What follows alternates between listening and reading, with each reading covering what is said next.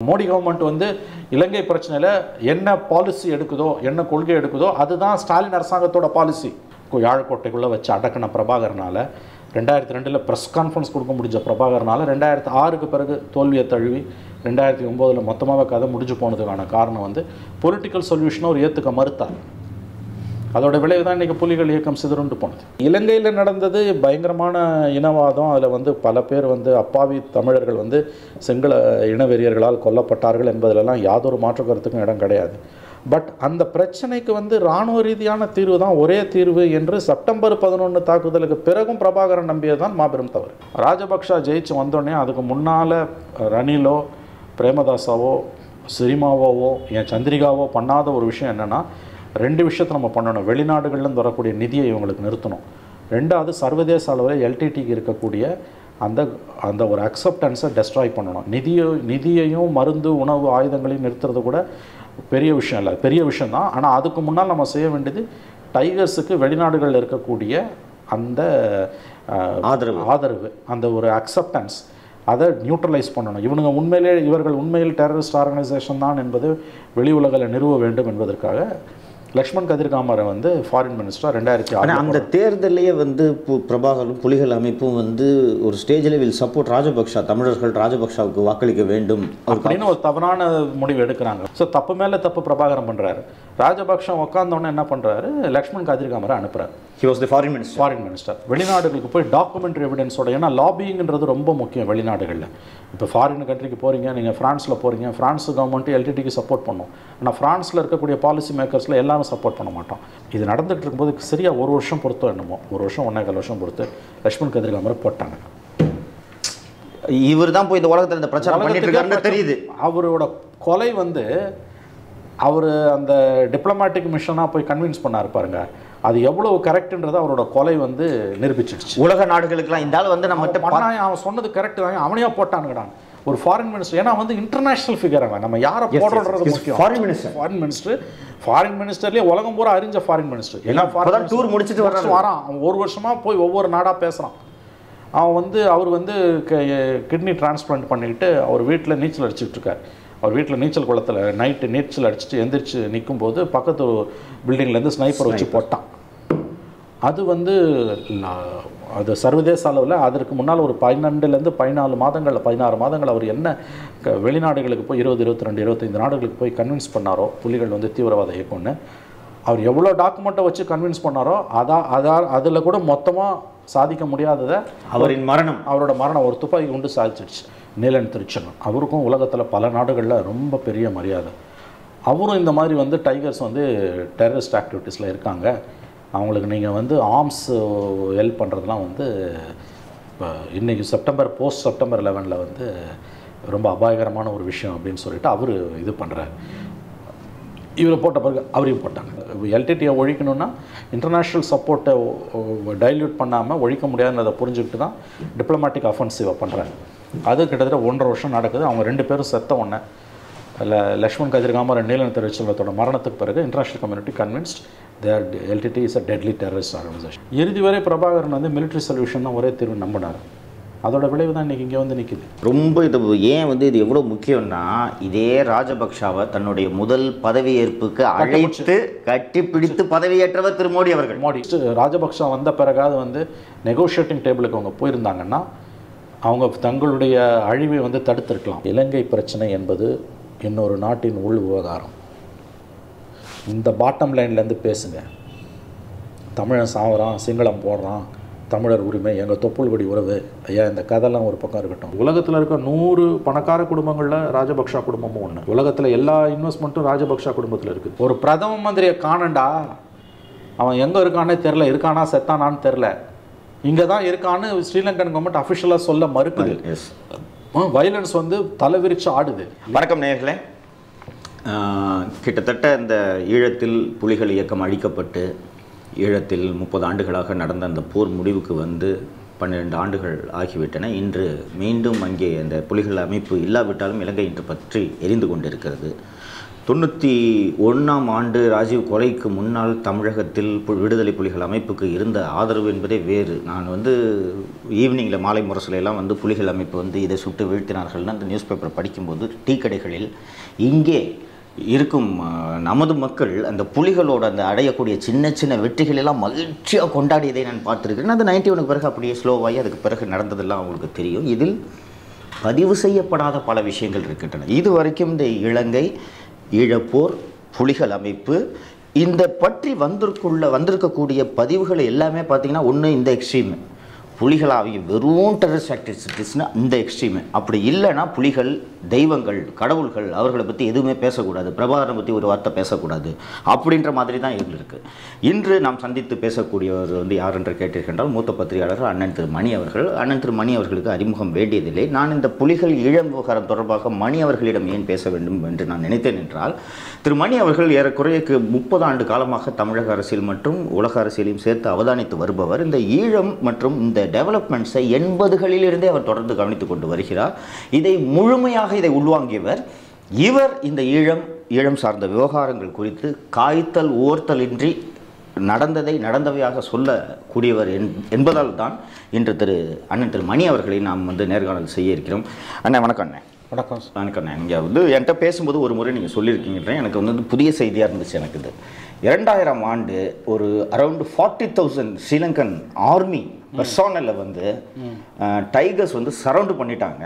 Unless the tigers withdraw that siege the forty thousand army personnel will be killed அந்த சமயம் India தலையிட்டு அவங்கள release பண்ணுங்க. ஒரு கன்வென்ஷனல் ஆர்மியில் நாற்பதாயிரம் பேரை ஒரு ஒரு கெரில்லா ஆர்மி கொலை செய்கிறதுன்றதை நாங்கள் பக்கத்தில் இருந்துட்டு வேடிக்கை பார்க்க முடியாது அப்படின்ற மாதிரி ஒரு செய்தியை சொன்னீங்க. எனக்கு இன்னைக்கு நம்ம கிட்டத்தட்ட பதிமூணு வருஷம் ஆயிடுச்சு. இன்றைக்கி பார்த்தீங்கன்னா இலங்கை வந்து அப்போ இருந்ததை விட பற்றி எரியுது. இன்றைக்கி சிலோன் டுடேன்ற நாளிதழோட தலையங்கத்தில் நீங்கள் பார்த்தீங்கன்னா ஐம்பத்தி எட்டில் நடந்த ஒரு கலவரம் எண்பத்தி மூணு ஜூலை கருப்பு ஜூலை கலவரம் அதற்கு பிறகு நடந்த ஒரு கலவரம். இது எல்லாவற்றையும் விட இன்று நடப்பது மோசமாக இருக்கிறது அப்படின்ட்டு இன்னைக்கு இது தலையங்கழித்திருக்கு அந்த முப்பது வருஷ வரலாறை நீங்கள் தொடர்ந்து பார்த்து கொண்டிருப்பீர்கள். உங்களிடம் பல RAW officers military intelligence officers state intelligence officers central intelligence ஆஃபீஸர்ஸ்லாம் நிறைய ஷேர் பண்ணியிருக்காங்க. இது போக you know personal details about the tigers and and their activities in Tamil Nadu அப்படின்றத நான் நினச்சிருக்கேன். நீங்கள் அந்த ரெண்டாயிரம் சீஜில் இருந்தே நீங்கள் கொஞ்சம் தொடங்கி சொல்லுங்கள் ரெண்டாயிரம் சீஜ் என்னென்னா வந்து டூ தௌசண்டில் டைகர்ஸ் விடுதலை புலிகள் வந்து ரொம்ப பவர்ஃபுல்லாக இருந்தாங்க. ரெண்டாயிரமாவது ஆண்டு ஜனவரியிலேருந்தே வந்து அவர்கள் வந்து ஆன்ஸ்லாட்டில் இருக்கும்பொழுது ரெண்டாயிரமாவது ஆண்டு ஏப்ரலில் வந்து அவங்க வந்து யாழ்கோட்டை அது ஆங்கிலத்தில் என்ன சொல்லுவீங்க? Elephant Pass and Elephant Pass correct அந்த யாழ்கோட்டை அந்த பகுதியை வந்து விடுதலை புலிகள் முற்றுகையிட்டார்கள். அந்த கோட்டைக்கு உள்ளே வந்து நாற்பதாயிரம் சிங்கள சோல்ஜர்ஸ் வந்து மாட்டிக்கிட்டாங்க. குடி தண்ணீர் உணவுப் பொருட்கள் மருந்து எல்லாத்தையுமே சப்ளையை சோக் பண்ணிட்டாங்க. டெல்லியில் வாஜ்பாய் கவர்மெண்ட்டு தமிழ்நாட்டில் கருணாநிதி கவர்மெண்ட்டு ஐ திங்க் அங்கே வந்து சந்திரிகா கவர்மெண்ட்டு நினைக்கிறேன். கிட்டத்தட்ட வந்து ஒரு மாத காலத்திற்கு மேலாக நாட்கள் கொஞ்சம் கூட கூட இருக்கலாம். யாழ்கோட்டை முற்றுகையிட்டு புலிகள் வந்து ஃபுல் ஃப்ளெஜ்டு அசால்ட்டில் இருக்காங்க. இப்போ இன் இன்னும் ஒரு நான்கு நாட்களுக்கு தான் வந்து அவங்களுக்கு எசென்ஷியல் சப்ளைஸ் வந்து இருக்குது. உணவு உடை சாரி உணவு குடிதண்ணீர் அண்டு மெடிசன்ஸ் நாற்பதாயிரம் சோல்ஜர் மாட்டிக்கிட்டான். அப்போ இந்தியாவோட இன்டர்வென்ஷன் இல்லைன்னா போட்டுருவான். நான் போட்டு தள்ளிடுவாங்க நாற்பதாயிரம் பேரையும் புலிகள் வந்து கொண்டுடுவாங்க கொண்டுட்டாங்கன்னா வந்து த கிட்டத்தட்ட அது அமைச்ச மாதிரியான ஒரு ஒரு- சுச்சுவேஷன் அது. அப்போ இந்தியாவோட உதவியை இலங்கை இராணுவம் நாடுது அப்போ வந்து வாஜ்பாய் பிரதம மந்திரி Jaswant Singh foreign minister India வந்து வெளிப்படையாக ஒரு வார்னிங் கொடுக்குது. அதாவது ஜஸ்வந்த் சிங் வெளியுறவுத்துறை அமைச்சர் திமுக மதிமுக பாமக எல்லாம் மந்திரிகளாக இருக்காங்க வாஜ்பாய் கவர்மெண்ட்டில் நீங்கள் வந்து இமீடியட்டாக வந்து வித்ரா பண்ணலைன்னா யாழ்கோட்டை முற்றுகையை வந்து புலிகள் வந்து வித்ரா பண்ணல வாபஸ் வாங்கலைன்னா நாங்கள் இந்திய விமானப்படை உங்களை வந்து கவனி அட்டாக் பண்ணோம். அதே ஏரியல் பாம்பிங் இருக்கும்னு வெளிப்படையாகவே சொல்கிறார் அவங்க வந்து முதல்ல அதுக்கு எதிர்ப்பு தெரிவிக்கிறாங்க முடியாதுன்றாங்க. ஆனால் ஸ்டான் வார்னிங் கொடுக்கப்படுது. வெளிப்படையாக கொடுத்த வார்னிங்கை தவிர எப்பயுமே ச இன்டைரக்ட் சேனல்ஸ் டைகர்ஸோட இந்தியன் இன்டெலிஜென்ஸ்க்கு இருந்துக்கிட்டே தான் இருக்கும். அவங்க அதை கன் கன்வே பண்ண வேண்டிய விதத்தில் கன்வே பண்ணோன்னா புலிகள் வந்து அந்த முற்றுகையை வாபஸ் வாங்கினாங்க. அப்போ வைகோலாம் வந்து அதை கடுமையாக எதிர்த்து பேசினார். இது வந்து இலங்கையோட உள்விவகாரத்தில் இந்தியா தலையிடுறது. அது வந்து ஏற்கனவே ஐபிகேஃபை அனுப்பிச்சு நம்ம வந்து இப்போ பண்ண தப்பு பத்தாதா? இப்போ வந்து நீங்கள் இந்த விஷயத்தில் ஏன் நீங்கள் இதை பண்ணுறீங்க அப்படின்னு வைகோ வந்து கடுமையாக வந்து விமர்சனமே அதை பண்ணார். இன்ஃபேக்ட் வைகோட விமர்சனம் ரொம்ப முக்கியமான ஒரு விமர்சனம். எனக்கு நன்றாக நினைவு இருக்கிறது. அப்போ நான் ராமேஸ்வரத்தில் வந்து கிட்டத்தட்ட ஒரு பத்து நாட்கள் வந்து தங்கியிருந்தேன். ஏஎன்ஐ செய்தி நிறுவனத்தில் இருக்கும்போது அகதிகள் வருவாங்க. அந்த ஸ்டோரிக்காக ஒரு பத்து பதினைந்து நாட்கள் அங்கே இருந்தோம். அப்போ நல்லா ஞாபகம் இருக்கு. நாங்கள் வந்துட்டு வந்துட்டு போவோம். அப்போ ஒரு தூரம் அங்கேருந்து வந்துட்டு சென்னை வந்துட்டு இருக்கும்போது front line cover story advantage டைகர்ஸ்னு போட்டே வந்தது. அதெல்லாம் பிடிச்சிட்டாங்க. இப்போ இலங்கையை இப்போ தங்களோட இலக்கை அடைஞ்சிட்டாங்க. யாழ்கோட்டை முற்றுகையின் மூலமாக வந்து தனியெழுத்தை நோக்கி அவர்கள் நகர்கிறார்கள்னே வந்தது.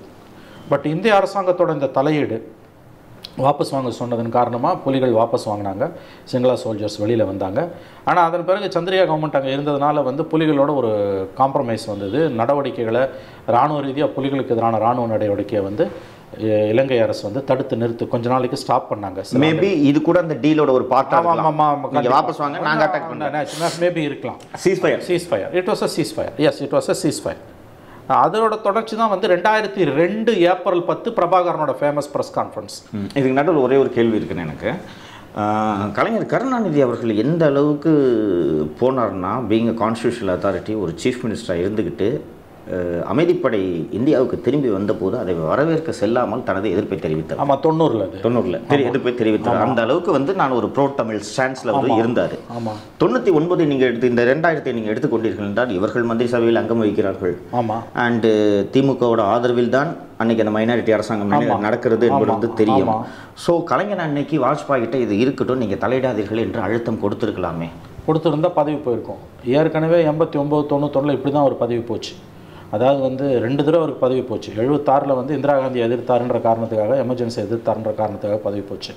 எண்பத்தி ஒம்பது தொண்ணூத்தொன்று ரெண்டே வருஷத்தில் சந்திரசேகர் கவர்மெண்ட் வந்து ஐம்பத்தஞ்சு எம்பியை வச்சுக்கிட்டு இங்கே நூற்றி நாற்பது எம்எல்ஏ இருந்த திமுக கவர்மெண்ட் டிஸ்மிஸ் பண்ணான். ஜனவரி தொண்ணூறு. ஜனவரி முப்பது ரெண்டு தொண்ணூறு தொண்ணூற்றி ஒன்று ஏன்னா ஜெயலலிதா கொடுத்த ப்ரெஷர் ஜெயலலிதாவோட பதினோரு எம்எல்ஏ ஆதரவு வேணும்னா நான் டிஸ்மிஸ் பண்ணணும்னு பண்ணான். அப்போ சந்திரசேகர் வெளிப்படையாக பார்லிமெண்ட்டில் வச்ச சார்ஜ் தேச துரோக குற்றச்சாட்டை கருணாநிதி மேலே வச்சார். தமிழக அரசுக்கு இந்திய அரசு தெரிவித்த தகவல் விடுதலை புலிகளுக்கு போய் சேர்ந்ததுன்னாரு.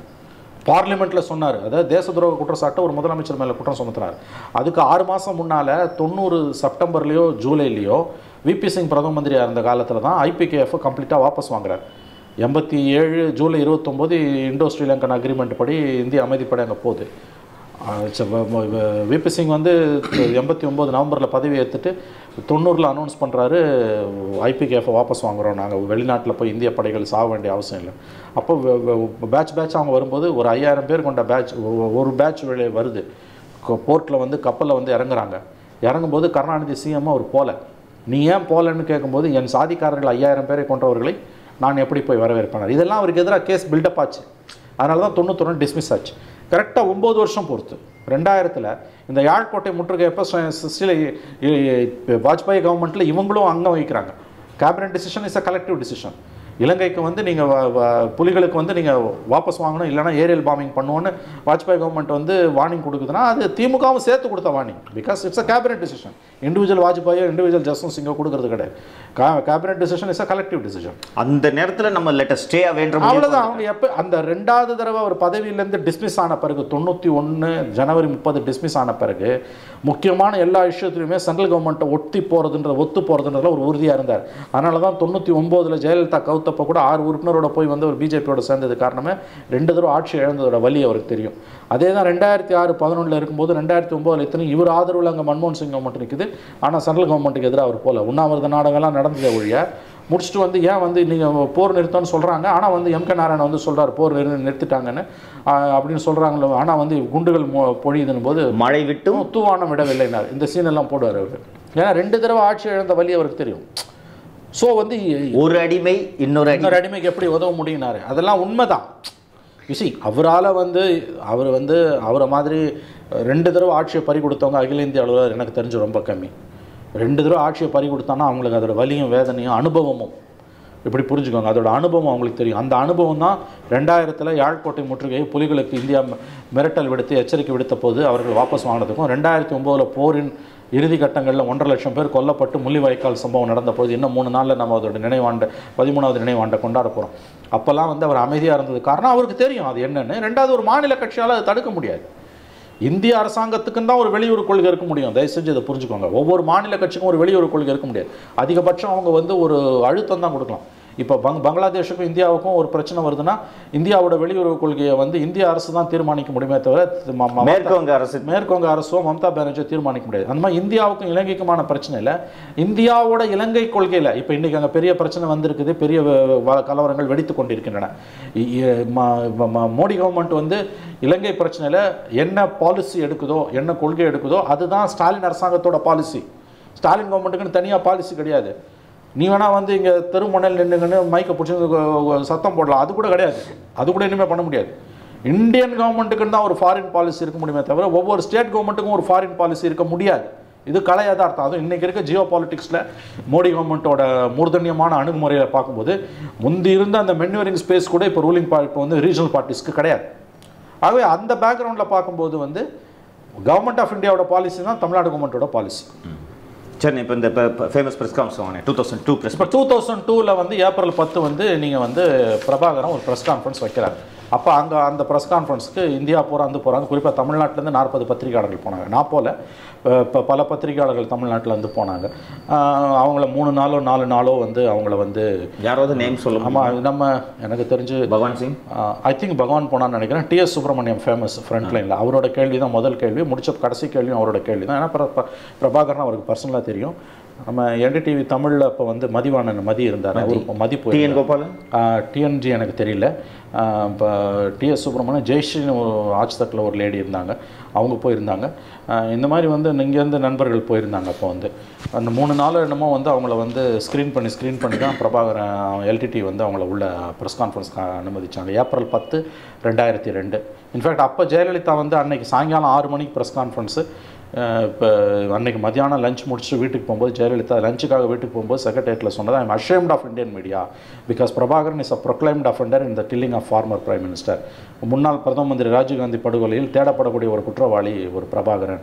அவருடைய ப்ரெஸ் கான்ஃபரன்ஸை வந்து இந்தியன் மீடியா கவர் பண்ணுறதை நினைத்து நான் வெட்கப்படுகிறேன் அப்படின்னு அந்தம்மா ரொம்ப ஃபேமஸான ஒரு இது ப்ரெஸ் கான்ஃபரன்ஸ் அந்தம்மா கொடுத்தது. See logically what she said was correct but நம்ம அதை எப்படி புரிஞ்சுக்கணும்னா Prabhakaran is a political figure அவர் அவர் செஞ்ச பல படுகொலைகளை வந்து ம தனி மனித ஆதாயத்திற்காக கொலை செய்தவர்களோட நம்ம ஒப்பிட முடியாது. நீங்கள் ஐஎஸ்ஐஎஸோட இதை ஒப்பிடுறது மாதிரியும் அதை பார்க்க முடியாது. பார்க்க முடியாது. It's a political movement though it was a terrorist movement இன்றைக்கும் அது டெரரிஸ்ட் மூமெண்ட் தான். கவர்மெண்ட் ஆஃப் இந்தியாவோட ஆக்ட் படி. But it's a political movement தான் நம்ம பார்க்க முடியும். அதனால தான் கவர்மெண்ட் ஆஃப் இந்தியாவே அதை அலோவ் பண்ணுச்சு. அத்தனைக்கும் வாஜ்பாய் பிரைம் மினிஸ்டர் அப்போ. ஏன் அவங்க நினச்சிருந்தா அந்த ப்ரெஸ் கான்ஃபரன்ஸை தடுத்துருக்கலாம்? தடுக்கல. ஏன்னா இட்ஸ் அ பொலிட்டிக்கல் மூமெண்ட் காங்கிரஸும் அதை எதிர்க்கலாம் அந்த press conference with the Palestine Liberation Organization? National C நான் வந்து எல்டிடியை பற்றின என்னுடைய பார்வை என்பது வேறு. அவங்க வந்து கிட்டத்தட்ட பிஎல்ஓக்கு ஈக்குவலாக தான் நான் அவங்கள கன்சிடர் பண்ணுறேன் பட் அவர்களுடைய வழிமுறைகளில் வந்து எனக்கு உடன்பாடு கிடையாது. இன்னும் சொல்லப்போனால் சமீபத்தில் இந்த வீக் ஆங்கிள் நாளிதழுக்கு நாலு மாதங்களுக்கு முன்பு எரிக் சோல்ஹாய்ம் கொடுத்த பேட்டி தான் முக்கியமானது. பிரபாகரனோட மிகப்பெரிய பிரச்சனை வந்து எல்லா ப்ராப்ளம்ஸ்க்கும் military சொல்யூஷன் இருக்குதுன்னு அவர் நம்பினார். அதுதான் அவரோட பிரச்சனை. இன்னும் சொல்லப்போனால் எந்த ப்ராப்ளத்துக்கும் மிலிட்ரி சொல்யூஷன் கிடையாது. அக்ராஸ் த டேபிள் தான் முடியும். அவர் தலைவே நம்பினார். எல்லா பிரச்சனைக்கும் மிலிட்ரி சொல்யூஷன் இருக்கணும் அதுதான் பிரபாகரனோட மிகப்பெரிய சாபக்கேடு. அதனால தான் ரெண்டாயிரத்தி ரெண்டு ரெண்டாயிரத்தில் வந்து அவ்வளோ பவர்ஃபுல்லாக இருந்த நாற்பதாயிரம் சோல்ஜர்ஸை யாழ்கோட்டைக்குள்ளே வச்சு அடக்கின பிரபாகரனால் ரெண்டாயிரத்தி ரெண்டில் ப்ரெஸ் கான்ஃபரன்ஸ் கொடுக்க முடிஞ்ச பிரபாகரனால் ரெண்டாயிரத்து ஆறுக்கு பிறகு தோல்வியை தழுவி ரெண்டாயிரத்தி ஒம்போதில் மொத்தமாக கதை முடிஞ்சு போனதுக்கான காரணம் வந்து பொலிட்டிக்கல் சொல்யூஷனை அவர் ஏற்றுக்க மறுத்தார். அதோட விளைவு தான் இன்றைக்கி புலிகள் இயக்கம் சிதறுண்டு போனது. ஸோ பிரபாகரனோட மிகப்பெரிய ப்ராப் ப்ராப்ளம் என்னென்னா வந்து அது ஆளுமை சிக்கல்னு சொல்லலாம். எல்லா பிரச்சனைகளுக்குமே வந்து எரிக் சோல்ஹை வேர்ட்ஸில் சொல்கிற மாதிரி பார்த்தா எல்லா பிரச்சனைகளுக்கும் இராணுவ தீர்வு உண்டு. குறிப்பாக இலங்கை இனப்பிரச்சனைக்கு அங்கே இனப்பிரச்சனை சந்தேகம் இல்லாமல். இலங்கை இனப்பிரச்சனைக்கு இராணுவ தீர்வு தான் ஒரே தீர்வு என்று அவர் நம்பினார். அது ரொம்ப அபத்தமானது என்பதை வந்து பாலசிங்கமே ஒரு கட்டத்தில் உணர்ந்து கொண்டார். அதை அவர் சிலரிடம் டிபிஎஸ் ஜெயராஜ் போன்றவரிடம் அவர் அவர் பேசியது குறித்த பதிவுகள் எல்லாம் இன்று இருக்கின்றன. இவை எதுவுமே உங்கள் கண்ணில் இல்லாமல் கூட டிபிஎஸ் ஜெயராஜோ எரிக் சோலோமோட பேட்டியோ கூட இல்லாமல் திருவாளர் பொதுஜனமாக நீங்கள் வந்து பத்திரிகைகளில் வந்த ஊடகங்களில் வந்த செய்திகளை வச்சே நீங்கள் அவதானிக்க முடியும். Because eighty percent of the information is in public open source உங்களுக்கே தெரியும். எண்பது சதவீத இன்ஃபர்மேஷன்றது எல்லா விஷயத்துலையும் நான் சொல்வேன்.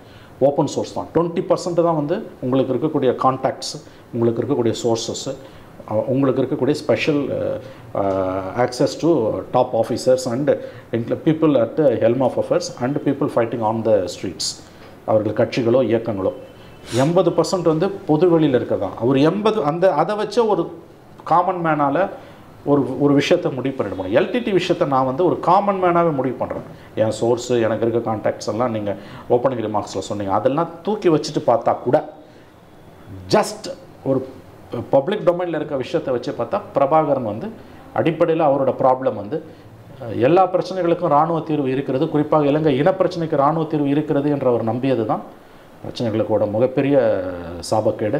ரெண்டாயிரத்தி ஒன்று செப்டம்பர் பதினொன்றுக்கு பிறகு செப்டம்பர் லெவன் அட்டாக்கு பிறகு உலக அரசியல் மாறியது. அந்த புரிதல் வந்து அஹ், பாலசிங்கத்துக்கு ஆண்டன் பாலசிங்கத்துக்கு இருந்தது.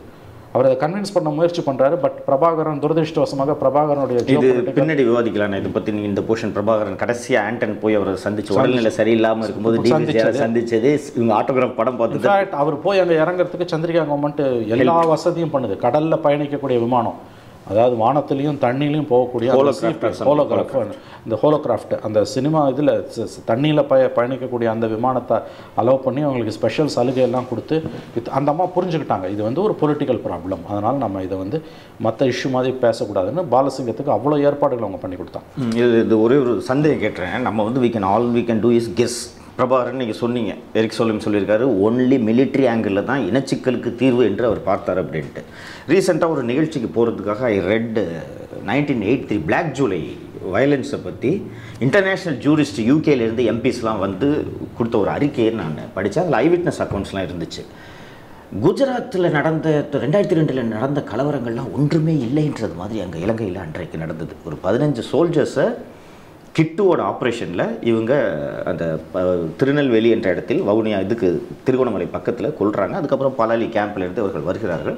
But that was an organised riot அப்படின்றத வந்து அந்த அறிக்கை பதிவு செய்திருக்கு. ஒரு ஒரு இன்சிடென்ட் மட்டும் சொல்லிடுறேன். பஸ்ஸில் நாற்பது பேர் வர்றாங்க. அந்த பஸ்ஸில் ஃப்ரண்ட்டில் ஒரு காரு ரெண்டு என்ட்ரன்ஸ்லேயும் ரெண்டு காரை நிறுத்திட்டு ஊரையே வேடிக்கை பார்த்துட்டு இருக்கு. பஸ் முழுக்க பெட்ரோலை ஊற்றி சிங்களர்கள் கொளுத்தி இருக்கிறார்கள். எட்டு இன்னொரு லேடி அப்போ அப்போனா ஃபாரின் டூரிஸ்ட் அங்கே நிறைய இருக்காங்க. அந்த ஃபாரின் டூரிஸ்ட் அங்கே போய் சொல்கிறாங்க ஒரு எட்டு வயசு பையனோட கையை வெட்டி அவன் துடிக்கிறத பார்த்து அங்கே சிங்களர்கள் நடனமாடி கொண்டாடியதை நான் பார்த்தேன் அப்படின்லாம் சொல்கிறாங்க நான் அந்த அறிக்கையில் இதெல்லாம் படிக்கிறேன். இதை ஃபர்ஸ்ட் ஹேண்டாக பக்கத்தில் இருந்து எக்ஸ்பீரியன்ஸ் பண்ணதுனால வந்து I don't want to talk with யூன்ற முடிவுக்கு அவர் வந்திருக்கலாமோ? இல்லை இல்லை. அப்படி தான் வந்தார் அவர். அதில் சந்தேகம் இல்லை. பட் இப்போ பாலிட்டிக்ஸில் வந்து நீங்கள் ரிஜிட் பொசிஷன்ஸ் என்றைக்குமே இருக்க முடியாது. முன்னால் போகணும் பின்னால் வரணும் நடுப்புற ஒரு சீஸ்ஃபயர் வரும். இப்போ இந்திய விடுதலை போராட்டத்தை எடுத்து அவங்க வந்து ஒத்துழையாமை இயக்கம் நடக்குது. வன்முறை வந்தோன்னே காந்தி அதை நிறுத்துறாரு. அப்புறம் மறுபடியும் முப்பதில் உப்பு சத்தியாகிரகம் நடக்குது. அப்புறம் வந்து ரெண்டாம் உலக போர் வந்தோன்னே அதை நிறுத்துறாரு. அப்புறம் வெள்ளையனை வெளியேறு இயக்கம் நடக்குது நாற்பத்தி ரெண்டில் அப்போ வந்து அது வந்து குவிட் இண்டியா மூமெண்ட்டில் வந்து அவர் வேர்ல்டு வாரோட முத்தும் போது வந்து அதை கொஞ்சம் நிறுத்தி வைக்கிறாரு. அப்புறம் டைரக்ட் ஆக்ஷன் பிளான் நாற்பத்தி நாலில் போகிறாங்க நேவல் மியூட்டினி நடக்குது. பாம்பே நேவல் மியூட்டினி நாற்பத்தாறில் இது மாதிரி ups and down forward and backward தான் வந்து எல்லா போ விடுதலை போராட்டங்களையுமே லிபரேஷன் ஸ்ட்ரைக் ஸ்ட்ரகிள்ஸ்லையுமே இருக்கக்கூடிய ஒரு விஷயம். சி இலங்கையில் நடந்தது பயங்கரமான இனவாதம். அதில் வந்து பல பேர் வந்து அப்பாவி தமிழர்கள் வந்து சிங்கள இனவெறியர்களால் கொல்லப்பட்டார்கள் என்பதிலெல்லாம் யாதொரு மாற்று கருத்துக்கும் இடம் கிடையாது. பட் அந்த பிரச்சனைக்கு வந்து இராணுவ ரீதியான தீர்வு தான் ஒரே தீர்வு என்று செப்டம்பர் பதினொன்று தாக்குதலுக்கு பிறகும் பிரபாகரன் நம்பியது தான் மாபெரும் தவறு. அந்த மோமெண்ட்ல reality should have dawn dawn Prabha அதை ஆமாம் அப்போ வந்திருக்கணும் அவருக்கு. அதை தான் வந்து பாலசிங்கம் சொல்கிறார் you see state has become so powerful அதை ஞாபகம் வச்சுக்கோங்க. ரெண்டாயிரத்தி ஒன்று செப்டம்பர் லெவன் தாக்குதலுக்கு பிறகு இந்த இருபத்தி ஓரு ஆண்டுகளில் நேஷன் ஸ்டேட்ஸ்னு சொல்லக்கூடிய உலகம் முழுவதும் இருக்கக்கூடிய நாடுகள் எஸ்டாப்ளிஷ்டு கண்ட்ரிஸ் எல்லாமே வந்து பயங்கரமான பவர்ஃபுல் ஆயிடுச்சு. அது எல்லா நாடுகளும் அவங்க நாட்டுக்குள்ளே இருக்கக்கூடிய இனவாத இன உரிமைக்காக சுயநிர்ணய உரிமைக்காக போராடுறவங்கள அழித்து ஒழிச்சுக்கிட்டு இருக்காங்க. அந்த டெரரிஸ்ட் ஆர்கனைசேஷன்ஸ்க்கு ஃப்ரீடம் ஸ்ட்ரகிளுக்காக போராடுற குழுக்களுக்குமான நடுவில் இருந்த அந்த லைன் பிளர் ஆயிடுச்சு. போயிடுச்சு எல்லாம் போயிடுச்சு. வந்து இப்போ இல்லை இது வந்து இப்போ யூகர்ஸை வந்து சைனாக்காரன் அடிச்சு கொள்வது செச்சனியாவில் ரஷ்யன்ஸ் பண்ணாத அட்டூழியம் கிடையாது. அடிச்சு கொண்டான் சிரியாவை வந்து எந்த விதமான இதுவுமே இல்லாமல் அடிச்சு காலி பண்ணிட்டாங்க. ஈராக். ஈராக்கை. அது பிறகு இது குவைத்து எல்லா கண்ட்ரி ஆப்கானிஸ்தான்? ஆப்கானிஸ்தான். மியான்மாரில் வந்து இன்னைக்கு கம்ப்ளீட்டாக மிலிட்ரி டேக் ஓவர் யாராலையும் ஒன்றும் பண்ண முடியல.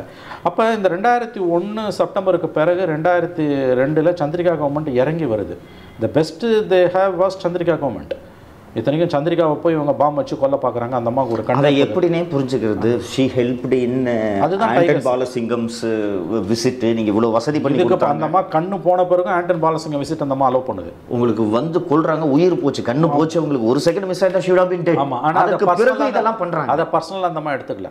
எடுத்துக்காம தான் அதை பண்ணுது. அப்போ she had an understanding of the problem உண்மையிலே சொல்யூஷன் வேணும்னா ஏன் வந்து காந்தி வந்து பூரண ஸ்வராஜ்ன்ற கோரிக்கை பின்னால் தான் வைக்கிறார்? முதல்ல டொமினியன் அந்தஸ்துக்கு ஒத்துக்கிறார். அப்படி தான் போராட்டங்கள் வரும். அந்த புரிஞ்சுக்கணும். அது புரிஞ்சுக்காமல் வந்து பிரபாகரனோட மிகப்பெரிய குறைபாடு என்னென்னு கேட்டிங்கன்னா வந்து எல்லா பிரச்சனைகளுக்கும் உலகத்தில் இருக்க எல்லா பிரச்சனைகளுக்கும் இராணுவ தீர்வு இருக்குன்னு அவர் நம்பினார்.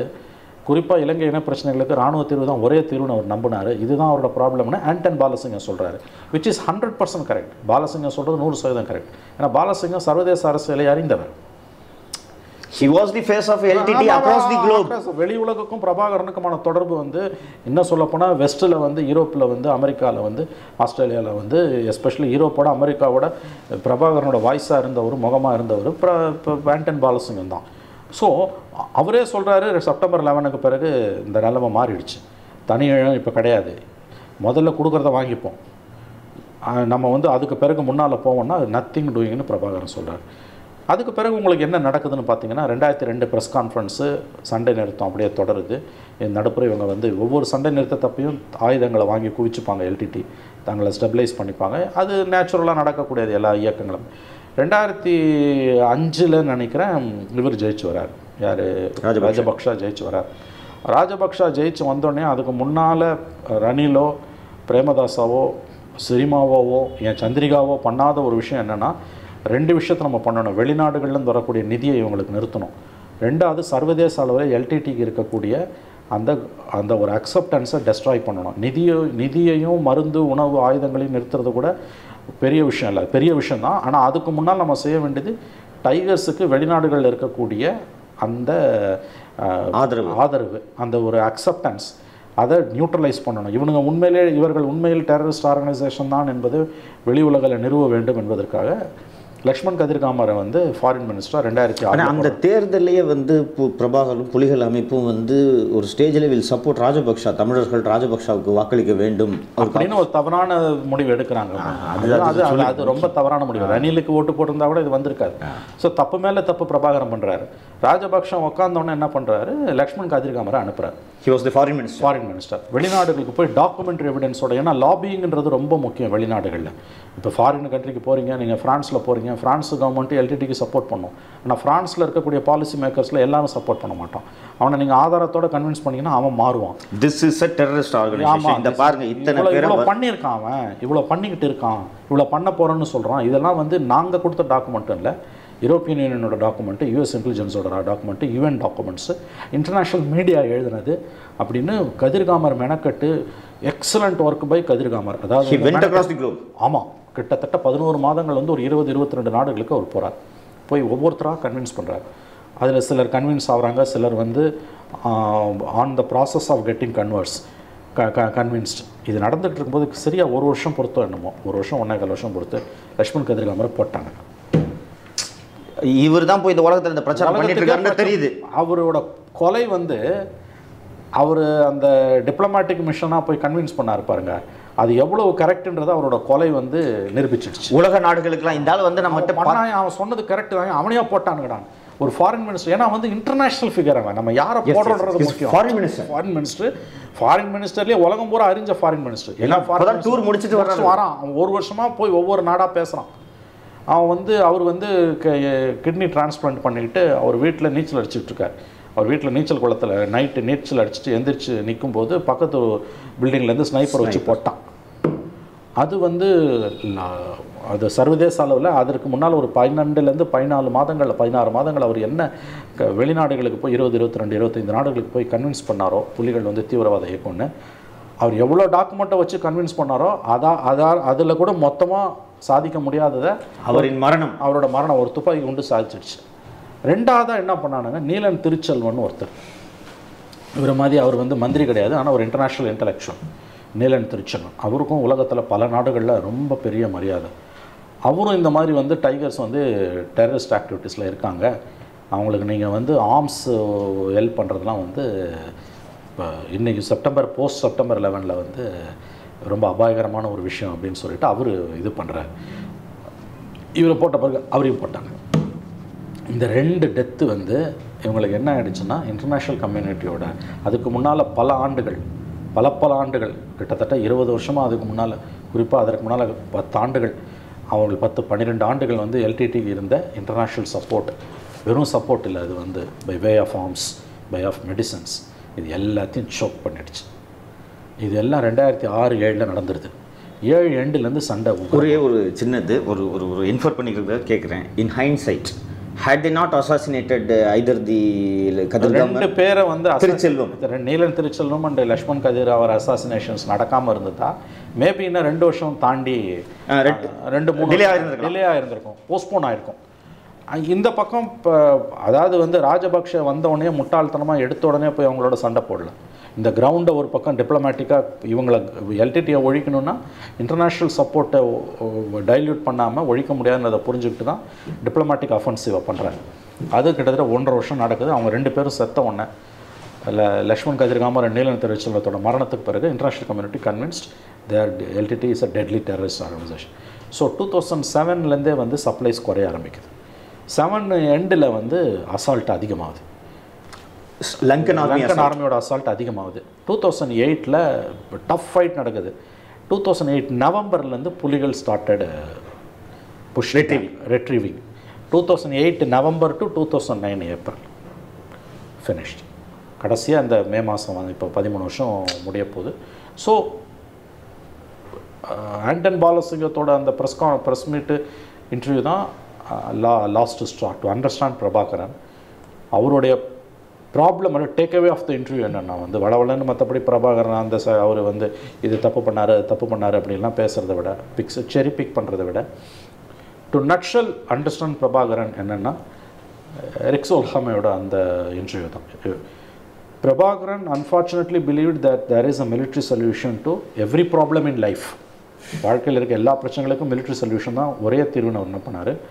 And he believe that for Sri Lankan Tamils issue இலங்கை தமிழர் பிரச்சனைக்கு ராணுவ தீர்வு தான் ஒரே தீர்வு என்று நம்பினார். அதுதான் துரதிருஷ்டவசமானதுன்னு எரிக் சோல்ஹைம் சொல்கிறார் எனக்கு எரிக் சோல்ஹைம் எல்டிடியோட ஆள். அவங்களோட நண்பர் அவர். எஸ் அவரே சொல்கிறார் ஏன்னா டூ தௌசண்ட் ஒன் செப்டம்பர் லெவனுக்கு பிறகு ஜியோ பாலிட்டிக்ஸை வந்து ஆண்டன் பாலசிங்க நல்லா புரிஞ்சுக்கிட்டார். எல்டிடிக்குள்ளே ஒரு செக்ஷன் புரிஞ்சுக்கிச்சு. பட் அவங்க வாய் திறக்கல. அவர்கள் வந்து ராஜ விசுவாசத்துக்கு கட்டுப்பட்டு அமைதியாயிட்டாங்க. ஆண்டன் பாலசிங்க ஃபைட் பண்ணுறாரு முடியல. அவர் லண்டனுக்கு போயிடுறாரு. கேன்சரில் அவர் ரெண்டாயிரத்தி ஆறில் செத்துடுறாரு. எல்லாம் ஒன்றா கூடி வருது. அவர் இறந்துடுறாரு. அதன் பிறகு ரெண்டாயிரத்தி ஏழு எட்டு ஒம்பது ரெண்டரை வருஷம் மூணு வருஷம் தான் பிரபாகரன் வாஸ் ஃபினிஷ்ட் அந்த டிபிஜி ஜெயராஜ் வந்து பிரபாகரனை இவர் திரு ஆண்டன் அவர்களை கடைசியாக சந்தித்த போது அதை அவர் சொல்லியிருப்பார். இது மாதிரி நீங்கள் சொன்ன விஷயத்தை உலகம் மாறிடுச்சுன்றதை தம்பிக்கு உணர்த்துறதுக்காக போனேன். போன உடனே இதை நான் பேசுறது இதை பேசுறதுக்கு தானே வந்திருக்கேன். சீஸ் ஃபயரை கண்டினியூ பண்ணுறது நான் வேறு ஒன்றும் இல்லை. இப்போ அசால்ட் வேண்டாம். லெட் ஸ்ட்ரைக் ஃபார் சீஸ் ஃபயர்ன்றதை ஆண்டன் கம்யூ கம்யூனிகேட் பண்ணுறதுக்கு போகிறாரு போன உடனே இதை பேசுறதுக்கு தான் இவர் வந்திருக்காருன்னு தெரிஞ்சுக்கிட்டு பிரபாகரன் அப்போது வெளியாக இருந்த சேரனோட ஆட்டோகிராஃப் படத்தை பார்க்கலாம் அப்படின்றாரு. சரி இதை முடிச்சுட்டு பேசுவோன்ட்டு உட்காந்து பார்க்குறாங்க. பார்த்து முடிச்ச உடனே தம்பின்னு இவர் ஆரம்பித்த உடனே திருப்பி அண்ணன் இன்னொருக்கா பார்க்கலாம் அப்படின்னு சொல்லிட்டு பிரபாகரன் சொல்கிறாரு திருப்பி பார்க்குறாங்க. சரி இது முடித்த உடனே பேசலான்ட்டு ஒரு ஆண்டன் முயற்சிக்கும் போது அண்ணா இன்னொரு வாட்டி பார்க்கலான்னு சொன்ன உடனே இவருக்கு தம்பிக்கு ஒன்றும் விளங்கவில்லை இனிமேல் இவர்கிட்ட பேசி பிரயோஜனம் இல்லை அப்படின்ட்டு போயிட்டாரு. என் மேலே கடுமையான கோபத்தில் இருந்தார் ஆண்டன் பாலசிங்கம். ஆனால் இந்த விஷயத்தை என்கிட்ட கம்யூனிகேட் பண்ணணுன்ட்டு அவர் விரும்பினார். அவர் இதை சொல்லிட்டு இருந்தார். இன்னும் சில விஷயங்களை சொல்ல வந்தார். பட் அவருக்கு பேச முடியல. இருமல் அந்த நோயினால் இருமல் அதெல்லாம் அதிகமாகி அவர் நிறுத்திக்கிட்டார். ஹேட் ஆண்டன் பின் நீங்கள் சொன்னது அதே ஒரு டிபிஎஸ் ஜெயராஜ் பதிவு செய்திருக்கார். Had Anton been alive he'd been able to convince him to certain ex இல்லை அந்த அந்த விஷயத்தில் மட்டும் நான் மாற போகிறேன் ஆண்டன் உயிரோடு இருந்திருந்தா கூட ரெண்டாயிரத்தி ஏழுக்கு பிறகு ஒன்றும் பண்ணியிருக்க முடியாது. ஏன்னா அவங்க ராஜபக்ஷ கை ஓங்கிடுச்சு. அப்போ ஃபைட் பண்ணி தான் ஆகணும் அவங்களுக்கு. அந்த ஸ்டேஜை தாண்டி போயிடுச்சு. So that mistake was done during two thousand five and six இவங்க போய் இப்போ ராஜபக்ஷாவை சப்போர்ட் பண்ணது ரணியில் சப்போர்ட் பண்ணாமல் சப்போர்ட் பண்ண பிறகு வந்து லக்ஷ்மண் கதிர்காமரோட டிப்ளமாட்டிக் அஃபென்சிவை பார்த்து புரிஞ்சுக்கிட்டு they விட மெண்ட் தர் வேஸ் செய்ய மறுத்துட்டாங்க. இறுதி வரை பிரபாகரன் வந்து மிலிட்ரி சொல்யூஷன் தான் ஒரே தீர்வு நம்பினார். அதோட விளைவு தான் இன்றைக்கி இங்கே வந்து நிற்குது அண்ணா இந்த டூ தௌசண்ட் செவன்லேருந்து லங்கன் ஆர்மியோட அசால்ட்டு இன்க்ரீஸ் ஆச்சு. டைகர்ஸ் ஒரு ஃபோர்ஸ் டு ரிட்ரீட்னு சொன்னீங்க. வேர்ல்டு கண்ட்ரிஸ் எல்லாம் தே ஒன் ஓவர் ஆமாம் அண்டு இந்தியாவில் R&D டபிள்யூக்கு they will play hot and cold உங்களுக்கு தெரியும். ரெண்டையும் வச்சிருந்தா தான் நீங்கள் அவங்கள செக்கில் வைக்க முடியுன்றது R and A W will play hot and cold ஆமாம் How did Rajapaksa manage to convince the Indian intelligence agencies and the union government that either stay away or support us? No, no, a section of uh, R&AW may have supported LTT, but a prominent section of Indian state. Indian ஸ்டேட்னும் போது அதில் ஆர்என்டிஏடபிள்யூ ஒரு அங்கம் ஆர்என்டிஏடபிள்யூ மட்டுமே Indian state கிடையாது இல்லை இல்லை அது ஒரு component an important component but R and A W மட்டுமே வந்து இந்தியாவோட ஸ்ரீலங்கன் பாலிசியை டிசைட் பண்ண முடியாது டூ தௌசண்ட் நைனில் வந்து LTTE is on the verge of கொலாப்ஸ்ன்றது Indian state கண்டுபிடிச்சிடுச்சு. டூ தௌசண்ட் எயிட் நவம்பருக்கு பிறகு கண்டுபிடிச்சிட்டாங்க. இங்கே பிரணாப் முகர்ஜி வந்து கருணாநிதியை பார்த்துட்டு போனார். இங்கே பெரிய ஆர்ப்பாட்டம் பண்ணி சினிமாக்காரனுங்கள்லாம் வச்சு கருணாநிதி கவர்மெண்ட்டில் கூத்தடிச்சு உங்களுக்கு தெரியும் வந்து. இந்த அமீர் இவங்கெல்லாம் வந்து வாயில் வந்து எல்லாம் பேசி அவங்க மேலே கேஸ் வைகோ பிடிச்சி உள்ளே போட்டு பொட்டாவில் மறுபடியும் போட்டு சீமான்? சீமான் எல்லாரும் உள்ளே போட்டதெல்லாம் நடந்தது. பட் அப்போயே வந்து Indian state realise the two thousand eight November post two thousand eight November Indian state realised the tigers are on the verge of collapse அப்போ அதை நம்ம எக்ஸ்படைட் பண்ணி முடிச்சிடணும் டைகர்ஸை இன்னுமே ஆம்பிகுட்டிக்கு இடம் கிடையாது அப்படின்னு Indian state has decided but a section of R W wants the LTTE to be alive அது எப்பயுமே அப்படி தான் இருக்கும் சிஏஏ வந்து ஒரு விஷயத்தில் போய் எவ்வளோ அசிங்கங்களை பண்ண சிஏஏ நீங்கள் பார்த்தீங்கன்னா அட்டுழியங்களை. A section of CIA will work against the main official line of the US state For example, I will tell you, 1978, 79, 80, like Iran and America are having a very tough uh, fight. அப்போ தான் இந்த embassy camp emboss அது நான் வரேன் nineteen seventy நைனில் நானூறு நாள் வந்து யூஎஸ் யூஎஸ் யூஎஸ் எம்பசியை வந்து டெஹரானில் அவங்க ரெவல்யூஷனரிஸ் பிடிச்சி வச்சிடுறாங்க. பிடிச்சி வச்சு நானூறு நாள் ஜிம்மி கார்ட்டர் பீரியடில் பிரசிடென்ட் கார்ட்டர் பீரியடில் அந்த விஷயம் நடக்குது. நானூறு பேர் வந்து பிடிச்சி வச்சுருக்காங்க. அப்போ ஒரு military ஆப்ரேஷனை பிளான் பண்ணும்போது ரஷ்யன்ஸ் ஸ்மெல் பண்ணி அதை இரானியன்ஸை உஷார்படுத்திடுறாங்க. அதனால் லா லாஸ்ட் மினிட்ல that was dropped and Jimmy Carter was a soft liner இல்லை Delhi very Democrat is a soft liner hard liners Republicans அதுக்கு பிறகு வந்து கன்வின்ஸ் ஆகி through negotiations all the. Hostages were released. Two thousand nineteen எயிட்டியில் அவங்க release ஆகி வந்துடுறாங்க. Eighty டூவில் வந்து ஈரான் கேட்டுன்னு ஒரு பெரிய ஸ்கேண்டல் வெடிக்குது. ரொனால்டு ரீகன் பிரசிடெண்ட்டாக இருக்கும்போது. இஸ் அ ரிப்பப்ளிக்கன் என்னடான்னா வந்து at the height of the struggle with இரேனிய Iran அந்த நானூறு பேர் மேலே வந்து அவன் பிணை கைதிகளாக ஈரான் பிடிச்சி வச்சுருக்கும்போது இரேனியன் அல்ட்ராஸ்க்கு வந்து சிஐஏ சப்ளைட் ஆர்ம்ஸ் அதாவது ஒரு பக்கம் இர நானூறு அமெரிக்கன்ஸை பிடிச்சி வச்சுருக்கான். சாவாங்களா இருக்க போகிறானான்னு தெரியல. நானூறு நாள் பிடிச்சி வச்சுருக்கான். அந்த நேரத்தில் வந்து இது நடந்து முடிஞ்சு மூணு வருஷம் பொறுத்து ஒரு உண்மை வெளியில் வருது. ஈரானுக்கு வந்து அமெரிக்கா சிஐஏ ஆம்ஸை சப்ளை பண்ணியிருக்கு ஒரு பக்கம் அது நடக்குது ஒரு பக்கம் இது நடக்குது. இது இப்படி தான் இன்டெலிஜென்ஸ் நடக்கும். ஈரான் கேட்டுன்னு அதை சொல்லுவாங்க. அதை ஏன் அவன் கிளப்பினான் அப்படின்னா சி ஈரான் கேட் நடந்தது நம்பர் ஒன் வந்து ஈரானோட அமெரிக்கா வந்து நான் ஃபோர் ஹண்ட்ரட் ரெஃப்யூ ஹவுஸ்டேஜஸ் இருக்கும்போதே வந்து எவ்வளோ அவலமான விஷயம். கரணம் தப்புனா மரணம்னு இருக்கும்போது இன்னொரு இவனே ஆம்சை கொடுக்குறான் அவனுக்கு ஈரானுக்கு. ஆனால் இந்த விஷயம் மூணு வருஷம் பொறுத்து வெளியில் வருது. ஏன் வருது? அதையும் சிஏ தான் ஆர்ம்ஸ் கொடுத்ததும் சிஏ தான் கொடுக்குறான். வெளியில் விடுறதும் சிஏ தான் விடுறான். ஏன்டா விடுறான்னா ரொனால்டு ரீகனுக்கும் கார்ட்டர் இல்லை ரொனால்டு ரீகனுக்கும் அன்னைக்கு சோவியத் யூனியனில் இருந்த லீடர்ஷிப்புக்கும் ஒரு அக்ரிமெண்ட் வருது. நியூக்ளியர் ஆர்ம்ஸ் ட்ரீட்டி வருது. ரெண்டு பேரும் நியூக்ளியர் ஆர்ம்ஸ் ப்ரொடக்ஷனை கம்மி பண்ணணும். அது சிஏக்கு பிடிக்கல. அது வந்து ரொனால்டு ரீகனை காலி பண்ணுறதுக்கு ஈரானு கிட்ட கிளப்பி விடுறான். இப்படி தான் இன்டெலிஜென்ஸ் ஒர்க் பண்ணும் அதே மாதிரி ஆர்என்டே டபிள்யூ எல்டிடி அலைவாக இருக்கணும்னு எல்டிடி அலைவாக வச்சுக்கிட்டா தான் இந்தியாவோட இன்ட்ரெஸ்ட் வந்து இலங்கையில் வந்து என்றைக்குமே ஸ்ட்ராங்காக இருக்கும். இலங்கையில் யார் ஆட்சிக்கு வந்தாங்கன்னாலும் மல்டி பார்ட்டி சிஸ்டம் அங்கே. சிங்களா புத்திஸ்ட்டுங்க வந்து வெறி பிடிச்சவனுங்க. அவனுங்க இந்தியன் ஸ்டேட்டுக்கு எதிராக தான் இருப்பானுங்க. இங்கே யார் ஆட்சிக்கு வந்தாலும் சிங்களா புத்திஸ்டோட இன்ஃப்ளூயன்ஸுன்றது வந்து தகர்க்க முடியாத இன்ஃப்ளூயன்ஸு அதனால் நமக்கு ஒரு கவுண்டர் பேலன்ஸாக வந்து எல்டிடி மாதிரி ஒரு குரூப் அங்கே இருக்கிறது நல்லதுன்னு இந்தியன் இன்டெலிஜென்ஸ்க்குள்ளே ஆர்என்டே டபிள்யூக்குள்ளே at the peak of war two thousand நைன்லேயே நினைத்தது உண்மை. பட் இந்தியன் ஸ்டேட்டுன்றது வந்து it's comprising R and A W not the R and A W alone alone அது இல்லாமல் வந்து there were convergence of interest of various countries India Sri Lanka Pakistan China US Russians European Union எல்லாருக்கும் LTD Australia. Australia எல்லாரும் LTD ஒழியணும் LTD அழியணும்னு விரும்புகிறாங்க அதான் ஒரு நண்பர் சொன்னார் ஒருத்தனோட நீங்கள் ஒரு ஆள் ஒரு ஆளோட சண்டை போடலாம் ஒரு ஆள் மூணு பேரோட சண்டை போடலாம் ஒரு ஆள் பத்து பேரோட சண்டை போடலாம் முந்நூறு பேர் சேர்ந்து ஒரு ஆள் அடிக்கிறான்னா அதான் எல்டிடிக்கு நடந்தது. See two thousand eight and nine war இந்த last six மந்த்ஸில் they lost friends across the globe வழக்கமாக வந்து ஒரு இடத்துல ஒரு ஜியோ பாலிட்டிக்ஸ் நடக்குதுன்னா இந்தியா தலையிடுதுன்னா பாகிஸ்தான் ரிபல்ஸுக்கு சப்போர்ட் பண்ணும். இல்லை சைனா சப்போர்ட் பண்ணும். இந்தியாவும் ரஷ்யாவும் சப்போர்ட் சப்போர்ட் பண்ணுதுன்னா அமெரிக்கன்ஸ் எதிர் சைடு சப்போர்ட் பண்ணுவான். இங்கே அந்த மாதிரி எதுவுமே இல்லை.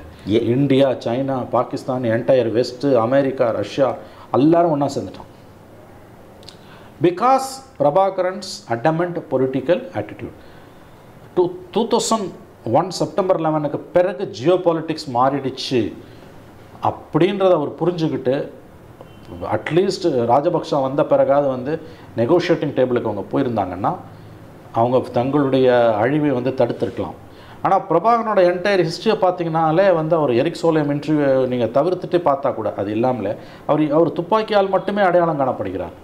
துப்பாக்கிகள் வந்து எங்கேயுமே வெற்றியை கொடுத்ததில்ல. டேபிளில் பேசுகிறது தான் இறுதி வெற்றி வந்து அக்ராஸ் த டேபிள் தான் செட்டில் இருக்குது what is your politics how can you say that military solution is the only solution to every problem அதுதான் இன்றைக்கு இருக்கக்கூடிய மிக மோசமான ஒரு நிலைமைக்கு காரணம். சி சிங்கள சாவனிசத்தை சிங்கள பேரினவாதத்தை பிரபாகரன் துல்லியமாக உணர்ந்து கொண்டிருந்தார். சந்தேகமில்லை. அந்த உயிரோடு எரிச்சது ஒம்பது வயசு பையனை வெட்டி கொண்டது அதுக்கு பிறகு வந்து தமிழர்களுக்கு உரிமையை கொடுக்க மாட்டேன் ராஜபக்ஷா கொக்கரித்தது சிங்கள பேரினவாதத்தை வளர்த்தது. இன்றைக்கி அதால் வந்து எங்கே நிற்கிறாங்க நமக்கு தெரியும். பட் இவங்க என்றைக்கும் திருந்த மாட்டாங்க நமக்கான ஆயுதங்கள் நமக்கான உரிமைகளை கொடுக்க மாட்டாங்கன்னு பிரபாகரன் அவதானித்ததும் சரியான அவதானிப்பு தான். பட் அந்த காலகட்டத்தில் ரெண்டாயிரத்தி எட்டு ஒம்பது பத்தில் மிலிட்ரி ஸ்ட்ரகிள் மூலமாக நம்ம ஜெயிக்க முடியாது. ஏன்னா நீ எல்லாரையும் பகைச்சிக்கிட்ட. குறிப்பாக இந்தியாவை பகைச்சிக்கிட்ட. சரி இன்னொன்று ராஜீவ்காந்தி படுகொலை was the last stop for Indian establishment Indian ஸ்டேட்டுங்க அது. அதை புரிஞ்சுக்கோங்க. ராஜீவ்காந்தின்றது காங்கிரஸ் பிரதம மந்திரி முன்னாள் பிரதம மந்திரி கிடையாது. He was a former prime minister அவரோட சேர்ந்து பாஞ்சு பேர் செத்து போகிறான் it's a direct assault on the Indian state எந்த ஒரு அரசும் அதை அனுமதிக்காது. இதே அமெரிக்கன் பிரசிடெண்ட்டை கொண்டு வந்தீங்கன்னா அடுத்த ஒரு மூணு மாதம் அந்த கண்ட்ரியை தேவோட bombed to stone stone age S எஸ் ஸ்டோன் ஏஜுக்கு கற்காலத்துக்கு பாம் பண்ணியிருப்பான். இந்தியா அதை செய்யலை. பதினெட்டு வருஷம் பொறுத்து இருந்து முடிச்சான். But any state modern state எதுவாக இருந்தாலும் மாடர்ன் நேஷன் ஸ்டேட்ஸ் நம்ம சொல்லக்கூடிய இன்றைய நவீன காலகட்டத்தில் இருக்கக்கூடிய எஸ்டாப்ளிஷ்டு கவர்மெண்ட்ஸ் வலிமையான அரசாங்கங்கள் இந்தியா வந்து இந்த ஃபோர்த் பவர்ஃபுல் கண்ட்ரி இந்த வேர்ல்டு தன்னோட சொ பிரைம் மினிஸ்டர் கொல்லப்படுறத வெறும் ஃபாரின் டெரரிஸ்ட் குரூப் வந்து அவன் நாட்டிலேயே போய் அவன் அவன் பிரைம் மினிஸ்டர் கொல்றதை எந்த நாடாவது அலோவ் பண்ணுமா? Because it was it was a terrorist act it was not a political activity but fundamentally it's a political activity but how you will view it இவங்க அந்த ஒரு தப்பை மட்டும் செய்யாமல் இருந்திருந்தாங்கன்னு வச்சுக்கோங்க. எத்தனையோ பேரை கொண்டாங்க நீலன் திருச்செல்வத்தை கொண்டாங்க லட்சுமண் கதிரகாரை கொண்டாங்க அமிர்தலிங்கத்தை கொண்டாங்க. பத்மநாபாவை கொண்டாங்க பிரேமதாசாவை கொண்டாங்க தமிழர்கள் இலங்கை த எல்லாரையும் கொண்டாங்க எவ்வளவோ பேரை. ஆனால் லாஸ்ட் ஸ்டா வாஸ் ராஜீவ்காந்தி கில்லிங் ராஜீவ்காந்தி படுகொலையை மட்டும் புலிகள் நிகழ்த்தாமல் இருந்திருந்தால் இன்னைக்கு இலங்கையோட ஜியோ பாலிட்டிக்ஸ் இலங்கையோட அரசியலே வேற. இதை சொன்னால் நம்முடைய நண்பர்கள் பல பேருக்கு கோபம் வரும். அண்ணன் உண்மைகளை இது உண்மைதான். உண்மைகளை பேசித்தான். அதாவது இதை சொன்னால் பல பேருக்கு கோபம் வரும். அதை நான் எதுக்கு சொல்கிறேன்னா அது இன்றைக்கி இருக்க காலகட்டத்தில் இன்னும் எகிரி குதிப்பார்கள். பட் அதுதான் உண்மை. நீ பாலிட்டிக்ஸை பாலிட்டிக்ஸாக பார்த்தீங்கன்னா பிரபாகரன் படு ராஜீவ்காந்தி படுகொலை என்பது வந்து எல்டிடி மீது தமிழ்நாட்டில் இருந்த ஒரு மக்கள் ஆதரவை ஆ அடிப்படையில் மக்கள் ஆதரவு இருந்ததுனா தான் எந்த இயக்கமுமே வந்து நிற்க முடியும். மக்கள் ஆதரவு இல்லைன்னா எந்த இயக்கங்களும் படுத்தும் ஒரே உதாரணத்துக்கு சொல்லணும்னா மக்கள் ஆதரவு நீர்த்து போனதுனால ஆந்திரா தெலுங்கானால மாவோயிஸ்டா வைப்டு அவுட்டு சத்தீஸ்கர் எங்க எங்க இந்த ட்ரைபல்ஸ்ல இருக்கக்கூடிய பாக்கெட்ஸ்ல சில பாக்கெட்ஸ்ல மக்கள் ஆதரவோட அங்கே தான் உங்களால் சர்வே பண்ண அவ்வளோதான் ஸோ நீங்கள் இதை எப்படி பார்க்கணும்னு கேட்டிங்கன்னா மக்கள் ஆதரவை அவர்கள் இழந்தார்கள் அதனால் இன்றைக்கு இந்த நிலைமைக்கு ஆளாகி இருக்கிறார்கள் இனிமேல் வந்து நீங்கள் ஆம்டு ரிபல் மூலமாக ஆம்டு ஸ்ட்ரகல் மூலமாக இலங்கையில் வந்து உங்களுக்கான அதிகாரங்களை பெறுவது என்பது வந்து கடினம் தான் எனக்கு தோணுது. For that matter throughout the world வந்து ஆம்டு ஸ்ட்ரகிள் மூலமாக வந்து இலக்குகளை அடைவது என்பது இனிமேல் கடினமான ஒரு விஷயம். அஹ் அண்ணா இந்த இந்த கொஞ்சம் பின்னாடி போனோம்னா இந்த இங்கே ராஜீவ் அசாசினேஷன் சொன்னீங்க. It's a very crucial point நான் ஒத்துக்கிறேன். அதற்கு பிறகு நிலைமை மாறினதெல்லாம் நமக்கு தெரியும். ஒரு உங்களுக்கு வந்து ஒரு நாடு தங்க இடம் கொடுத்து சாப்பாடு போட்டு ஆயுதம் கொடுத்து India one of the world's finest military உங்களுக்கு ட்ரைனிங் கொடுத்து இவ்வளவும் பண்ணி வச்சுட்ருக்காங்க உங்களுக்கும் இன்னொரு ஒரு குழுவுக்கும் சண்டை. அதுக்காக உங்களை தங்க வைக்கிற இடத்துல போய் ஹார்ட் ஆஃப் தி சிட்டியில் ரெசிடென்ஷியல் ஏரியாவில் ஜக்காரியா காலனியில் போயிட்டு பதிமூணு பேர் சுட்டு கொண்டீங்கன்னா அன்னைக்கே இந்தியன் கவர்மெண்ட் திரும்பி இருந்துச்சுன்னா உங்கள் கதி என்ன? அப்படி தான் திரும்பிச்சு. அது இவங்களாவே என்ன எக்ஸ்படைட் பண்ணிட்டாங்க? ராஜீவ்காந்தி படுகொலைக்கு பிறகு. நான் அந்த ஸ்பாட்டை விசிட் பண்ணியிருக்கேன். ஆயிரத்தி தொள்ளாயிரத்தி தொண்ணூறு ஜூனில் பத்மநாபா படுகொலை ஜக்காரியா காலனியில் அந்த பாம் பிளாஸ்ட் நடக்கும்போது சில பாம்ஸ் அவங்க விட்டுட்டு போயிட்டாங்க. லோக்கல் போலீஸால் அதை டெஃப்யூஸ் பண்ண முடியல. இப்போ இருந்த போலீஸ் அதிகாரிகளை கேட்டால் அப்போ இருந்த போலீஸ் அதிகாரிகளை கேட்டால் சொல்லுவாங்க. அந்த வேர் வித்தால் வந்து ஸ்டேட் போலீஸ்கிட்ட அப்போ இல்லை இப்போ இருக்குது. அப்போ இல்லை தொண்ணூறு ஜூனில். கருணாநிதி சிஎம் டெல்லியில் இருக்கார். போட்டானுங்க. போட்டுட்டு பதினஞ்சு பேரை போட்டுட்டு பாம்ஸை வந்து லைவ் பாம்ஸை விட்டுட்டு போயிட்டானுங்க. டெஃப்யூஸ் பண்ணுறதுக்கு இந்தியன் ஏர்ஃபோர்ஸ்லேருந்து பாம்ப் ஸ்குவாட்ஸ் வந்தது. அந்த பாம்ஸ் ஒரு பாம் வெடிச்சிருந்து நாலஞ்சு பாம்பை விட்டுட்டு போயிட்டானுங்க. ஒரு பாம் வெடிச்சிருந்தா பாதி காலியாயிருக்கும். ஒரு பாம் அடிச்சிருந்தா கோடம்பாக்கம் குவார்டர் ஆஃப் கோடம்பாக்கம் காலி ஆயிருக்கும் அப்போ இது இது வந்து நீங்கள் வந்து இதெல்லாம் வந்து நீங்கள் வந்து இன்னைக்கு பேசுகிறாங்களே இன்னைக்கு ஆதரித்து இன்னைக்கு வந்து எவ்வளவோ பேசுகிறாங்களே செத்தவன் யார்? இப்போ ராஜீவ்காந்தி கூட செத்ததில் நான் இருந்தேன் ராஜீவ்காந்தியோட அன்னைக்கு. கடைசி three hours I was with small newspaper வெடிவெளின்னு ஒரு பேப்பருக்கு ரிப்போர்ட் பண்ணுறதுக்காக போயிருந்தேன். ரெண்டு வேனில் நாங்கள் போயிருந்தோம். ரெண்டாவது வேனில் இருந்தோம். Last three hours I was with அப்போ பாம்பு அடிச்சோன்னா ஓடி வந்துட்டோம். நான் சின்ன பையன் பண்ண வந்து ரிப்போர்ட் கூட பண்ணல நான் அது. ஏன்னா போலீஸ்காரெல்லாம் ஓடுறான் துப்பாக்கி எடுத்துகிட்டு ஜேபி மாத்தூர்னு ஒரு டிஐஜி இருந்தார். அவர் வந்து ஏபி மாத்திரம் ஏபி மாத்தூர். அவர் காரில் ஏறி ஓடுறாரு. நான் எதுக்கு சொல்ல வரேன்னா எதன் பொருட்டு நீங்கள் வந்து இந்த மாதிரியான ஒரு டெரரிஸ்ட் ஆக்டிவிட்டீஸை வந்து நியாயப்படுத்த முடியாது. அப்படியே இருந்தாலும் நீங்கள் சொன்ன மாதிரி வந்து இன்னொரு நாட்டில் வந்து ஏன் இதை பண்ணுறீங்க சரி நீங்கள் ஒன்று புரிஞ்சுக்கோங்க. அடிப்படையில் இப்போ நான் சொல்கிறது வந்து பல பேருக்கு பிடிக்காமல் இருக்கலாம். பல பேர் என்னை வந்து கடுமையான விமர்சனம் பண்ணுவாங்கன்னு எனக்கு தெரியும். பின்னோட்டம் எழுதுவாங்கன்னு தெரியும். ஆனாலும் நான் சொல்கிறேன் பாட்டம் லைனை தயவு செஞ்சு புரிஞ்சுக்கோங்க. இன்றைக்கி கூட அங்கே நிறையா பிரச்சனை நடந்துகிட்ருக்கு அதை பற்றி நம்ம பேசுவோம். நீங்கள் என்ன சொன்னீங்கன்னாலும் தயவு செஞ்சு உங்கள் மைண்டில் நீங்கள் திரும்ப திரும்ப திரும்ப திரும்ப திரும்ப திரும்ப வச்சுக்க வேண்டிய ஒரு விஷயம் என்னென்னா இலங்கை பிரச்சனை என்பது இன்னொரு நாட்டின் உள் விவகாரம். இந்த பாட்டம் லைன்லேருந்து பேசுங்க. தமிழன் சாவறான் சிங்களம் போடுறான் தமிழர் உரிமை எங்கள் தொப்புள்கொடி உறவு. ஐயா இந்த கதைலாம் ஒரு பக்கம் இருக்கட்டும். இலங்கை பிரச்சனை என்பது அடிப்படையில் இன்னொரு நாட்டின் உள் விவகாரம். அதனால் ஒரு லெவலுக்கு மேலே நம்ம போக முடியாது. ரெண்டாவது பல வெளிநாட்டு அரசுகள் பல வெளிநாட்டு சக்திகள் வல்லூர்களாக அங்கே வந்து விளையாட ஆரம்பிச்சிருக்காங்க. இந்தியாவும் அதில் விளையாடுது. ஏன் இவ்வளோ பேசுகிறாங்களே நான் சொல்கிறேன் சுருக்கமாக சொல்கிறேன் அது வன்முறையிலே அதாவது வந்து சிங்களர்கள் வந்து ரத்தம் குடித்தே வளர்ந்தவர்கள். ஆயிரத்தி தொள்ளாயிரத்தி எழுபத்தொன்னுல ஜேவிபி வந்து இடதுசாரி தீவிரவாதம் சினிமாவை பண்டார் நாயக்காவை போட்டு தள்ளுறதுக்கு முடிவு பண்ணி கவர்மெண்ட்டே வந்து சேலஞ்ச் பண்ணுறாங்க ஆம்டு ரிபெலியன் மூலமாக எலக்டட் கவர்மெண்ட்டை தூக்கி அடிக்கிறாங்க. அந்த முயற்சியில் வந்துட்டாங்க அவங்க. எப்படி ஆழ்கோட்டையை ரெண்டாயிரத்தில் புலிகள் முற்றுகை எட்டு நாற்பதாயிரம் சோல்ஜர்ஸை வெட்டி கொல்ல துடிச்சாங்களோ அந்த மாதிரி ஆயிரத்தி தொள்ளாயிரத்தி எழுபத்தொன்னில் சினிமாவை தூக்கி அடிச்சுட்டு இலங்கையை கைப்பற்றதுக்கு ஜேவிபி அறுபதாயிரம் பேர் மற்ற சோல்ஜர்ஸ் வந்து மு- மு- போராடி left movement left movement Janatha Vimukthi Peramuna. ஆமாம் துப்பாக்கி முனையில் சண்டை போடுறோம். இந்திரா காந்தி பிரதம மந்திரி Indira Gandhi Indian air force அனுப்புனாங்கங்க. ஒரு நாள் ஒரே நாள். காலையில் அந்த ஆறு மணிலேருந்து சாயங்காலம் ஆறு மணி வரைக்கும் continuous carpet bombing carpet bombing நடந்தது. காடுகளுக்குள்ளேயும் மலைகள்லையும் போட்டு தள்ளினாங்க. ஆயிரக்கணக்கான ஜேவிபி சோல்ஜர்ஸ் வர் கில்டு அறுபதாயிரம் பேருக்கு மேலே கொல்லப்பட்டாங்க. இல்லைன்னா இல்லைங்க அன்னைக்கே போயிருக்கோம். அதை செஞ்சது இந்திரா காந்தி. எவனும் வாய் திறக்கல எழுபத்தி ஒன்றில் ஆச்சா எப்போல்லாம் இலங்கை வந்து கொலாப்ஸ் ஆகுதோ அப்போல்லாம் இந்தியா தான் அவங்கள காப்பாற்றிருக்குன்றதுக்கு நான் உதாரணம் ஒன் பை ஒன் டூ த்ரீன்னு சொல்கிறேன் ப்ளீஸ் எழுபத்தொன்னில் ஜேவிபி போட்டு தள்ளியிருப்பான். அறுபதாயிரம் பேர் இந்திய விமானப்படையோட தாக்குதலால் என்டையர் அறுபதாயிரம் இல்லை பட் அதில் சில ஆயிரம் பேரை வந்து இந்திய விமானப்படை தாக்குதலில் அழித்து கொன்றது. ஏரியல் பாம்பிங்கில் அச்சா ஒன்று எண்பத்தி மூணில் இந்த ச இவனுங்க க கலவரம்லாம் நடந்து வ வெளியில் தூக்கி போட்டப்ப எல்டிடிக்கு வந்து பெரிய அளவில் இராணுவ உதவி இராணுவ பயிற்சியை கொடுத்தது தஞ்சாவூரில் இருக்க தஞ்சாவூரில் இருந்த மிலிட்ரி எஸ்டாப்ளிஷ்மெண்ட் மிகப்பெரிய கமாண்டர்ஸ் வந்து best one of the best officers இந்த வேர்ல்டு அவங்க தான் ட்ரெயின் பண்ணாங்க. அவங்களுக்கு எதிராக எண்பத்தேழில் துப்பாக்கியை தூக்கணும் ஸோ அப்போ அவங்க சொன்னாங்க ஒரு ஆஃபீஸர் சொன்னார் how can fight my I fight with my பாய்ஸ்னர் எண்பத்தி ஏழு மூணு. ஆச்சா எழுபத்தொன்னில் ஜேவிபியை போட்டு தள்ளினாங்க. எண்பத்தி ஏழில் ஜெயவர்தனா ரொம்ப சாதுரியமாக அவரோட பிரச்சனையை அவர் எல்டிடி போட்டிருப்போம் அவரோட பிரச்சனையை ராஜீவ்காந்தி தலையில் திருப்பி ஐபிகேஎஃப் அக்ரிமெண்ட்டை போட்டு ஐபிகேஎஃப் உள்ளே விட்டோம்.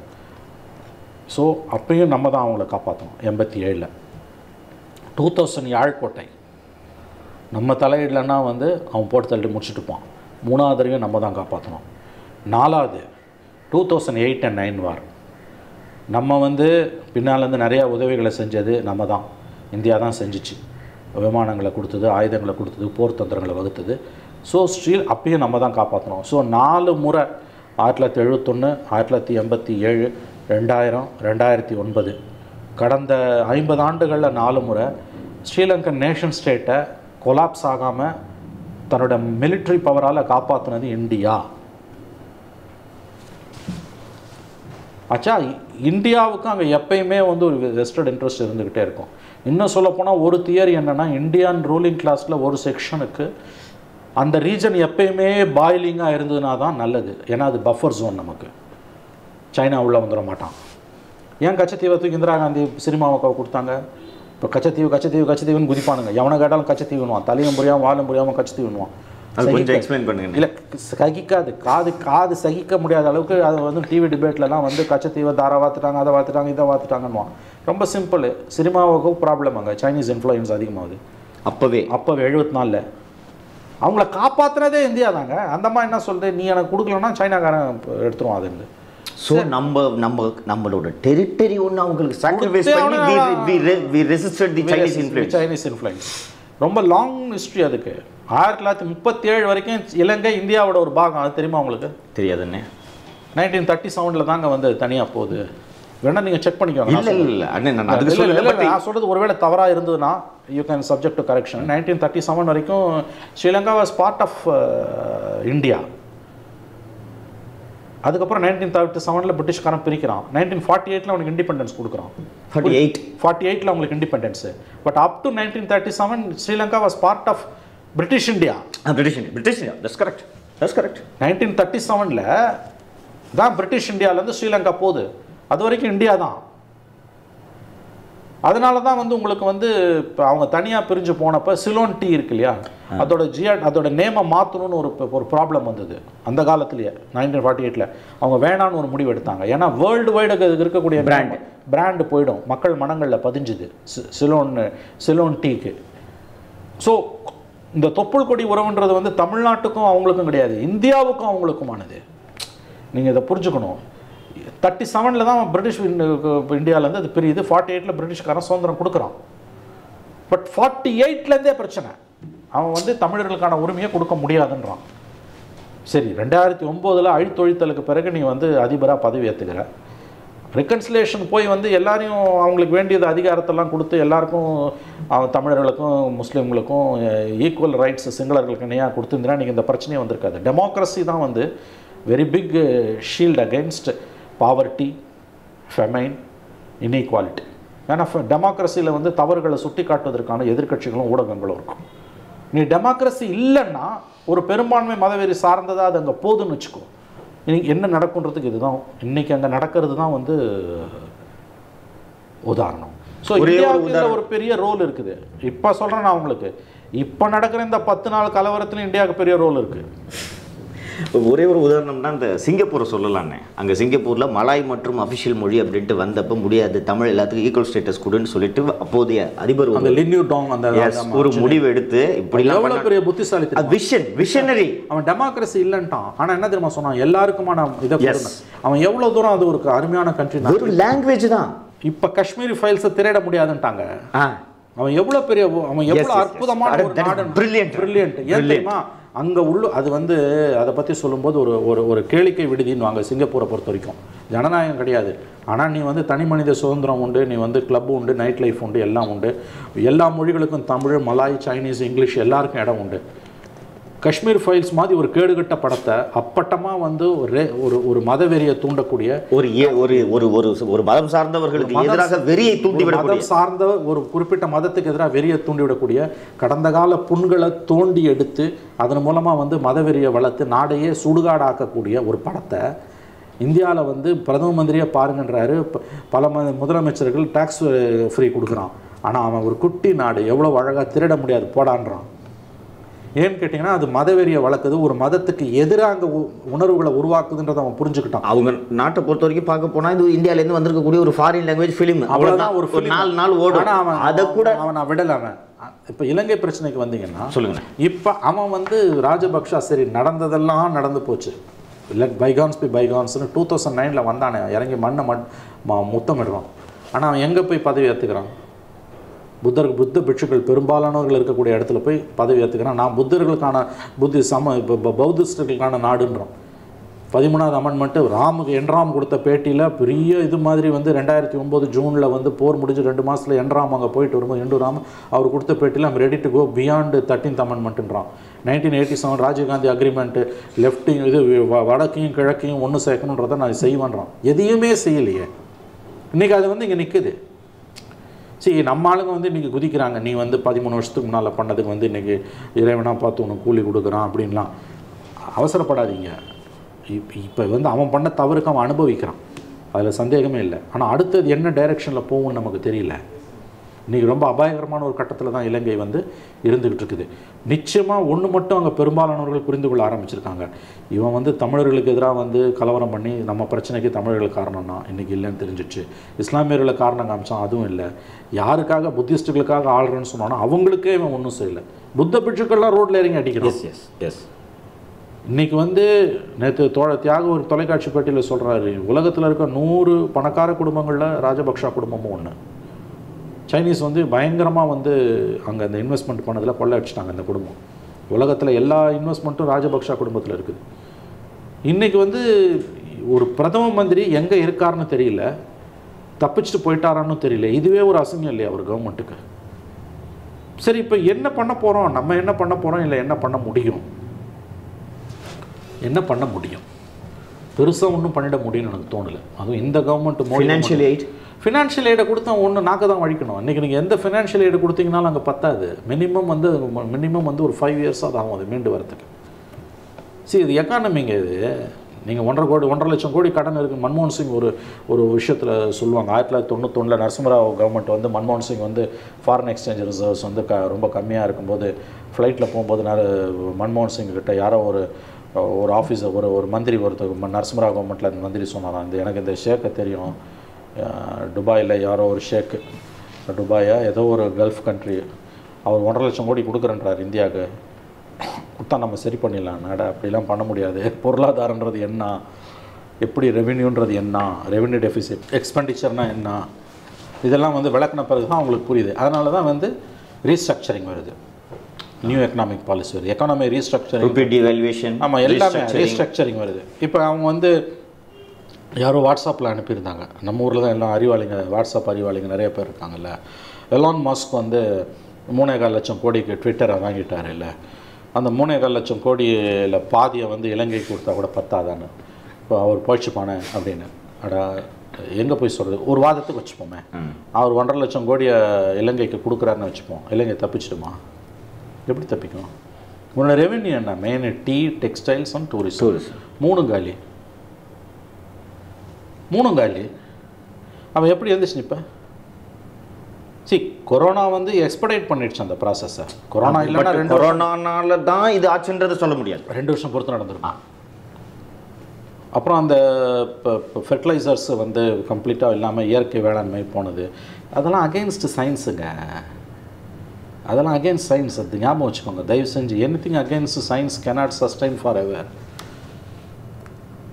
முழுக்க முழுக்க இப்போ நம்மாழ்வார் சொல்கிறத வச்சு நீங்கள் விவசாயம் பண்ணுறீங்களா அதில் ஒரே ஒரு விஷயம் என்ன? நீங்கள் கிட்டத்தட்ட ஒரு இரநூறு வருஷமாக உரம் போட்டு மண்ணை தயார் பண்ணி வச்சுட்டு நாளையிலேருந்து நான் சாணியை போடுறேன்னு சொன்னா எப்படி? விளையும் அந்த எப்படி- மண்ணில்? எப்படி மண் விளையும்? அப்புறம் வந்து அது உடனே பண்ணது தப்பு. ஒம்பது வருஷத்தில் பண்ணி. எப்படி இருந்தாலும் ஃபெர்டிலைசர்ஸ் இல்லாமல் இனிமேல் வாழ முடியாது. ஸோ இது எல்லாமே வந்து சேர்ந்துக்குச்சு. நோ வாட் நெக்ஸ்ட் இந்தியா என்ன பண்ண போகுது? இந்தியாவுக்கு இதில் பெரிய ரோல் இருக்குது நல்லா ஞாபகம் வச்சுக்கோங்க. நேற்று ஈவினிங் வந்த ஸ்டேட்மெண்ட்டை நல்லா கவனிங்க. அங்கே பத்தி எரியுது. ஊடு பூந்து அடிக்கிறான். ஒரு எம்பி அவனே துப்பாக்கியில் சுற்றி செத்துட்டான். எம்பி வீடெல்லாம் கொளுத்துறாங்க. பிஎம் தப்பிச்சு ஓடுறாரு. லிபியாவில் நடந்த மாதிரி நடந்துருமோன்னு ஒரு அச்சம் வந்தது. ஆனால் இந்தியன் கவர்மெண்ட்டோட ஸ்டேட்டு கேட்டகாரிக்கலாக வைலன்ஸை கண்டம் பண்ணி வரல. நல்லா. கேளுங்க. வைலன்ஸை கண்டம் பண்ணி இந்தியன் கவர்மெண்ட்டோட ஸ்டேட்மெண்ட் வரல. இந்தியன் ஃபாரின் மினிஸ்ட்ரி என்ன சொல்கிறான் மக்களோட மக்கள் கான்டாக்ட் எங்களுக்கு இருக்குது. அதை நாங்கள் ஸ்ட்ரென்தன் பண்ணுவோம். ஜனநாயகம் ரொம்ப முக்கியம். அதனால தான் நாங்கள் இவ்வளோ மூன்றரை பில்லியன் டாலர் கொடுத்துருக்கோம் அதை கொடுத்துருக்கோம் இதை கொடுத்துருக்கோன்றோம். அதை சொல்லிட்டு அப்படியே நிறுத்திக்கிறோம். They are distancing Indian state Indian government Modi government is distancing itself from Rajapaksas ஒரு பிரதம மந்திரியை காணண்டா அவன் எங்கே இருக்கானே தெரில இருக்கானா செத்தானான்னு தெரில இங்கே தான் இருக்கான்னு ஸ்ரீலங்கன் கவர்மெண்ட் அஃபிஷியலாக சொல்ல மறுக்குது. வயலன்ஸ் வந்து தலைவிரிச்சு ஆடுது. லிபியா மாதிரி பிரசிடெண்ட்டையோ பிரைம் மினிஸ்டரையோ மக்கள் போட்டு தள்ளினாங்கன்னா ஆச்சரியமே கிடையாது.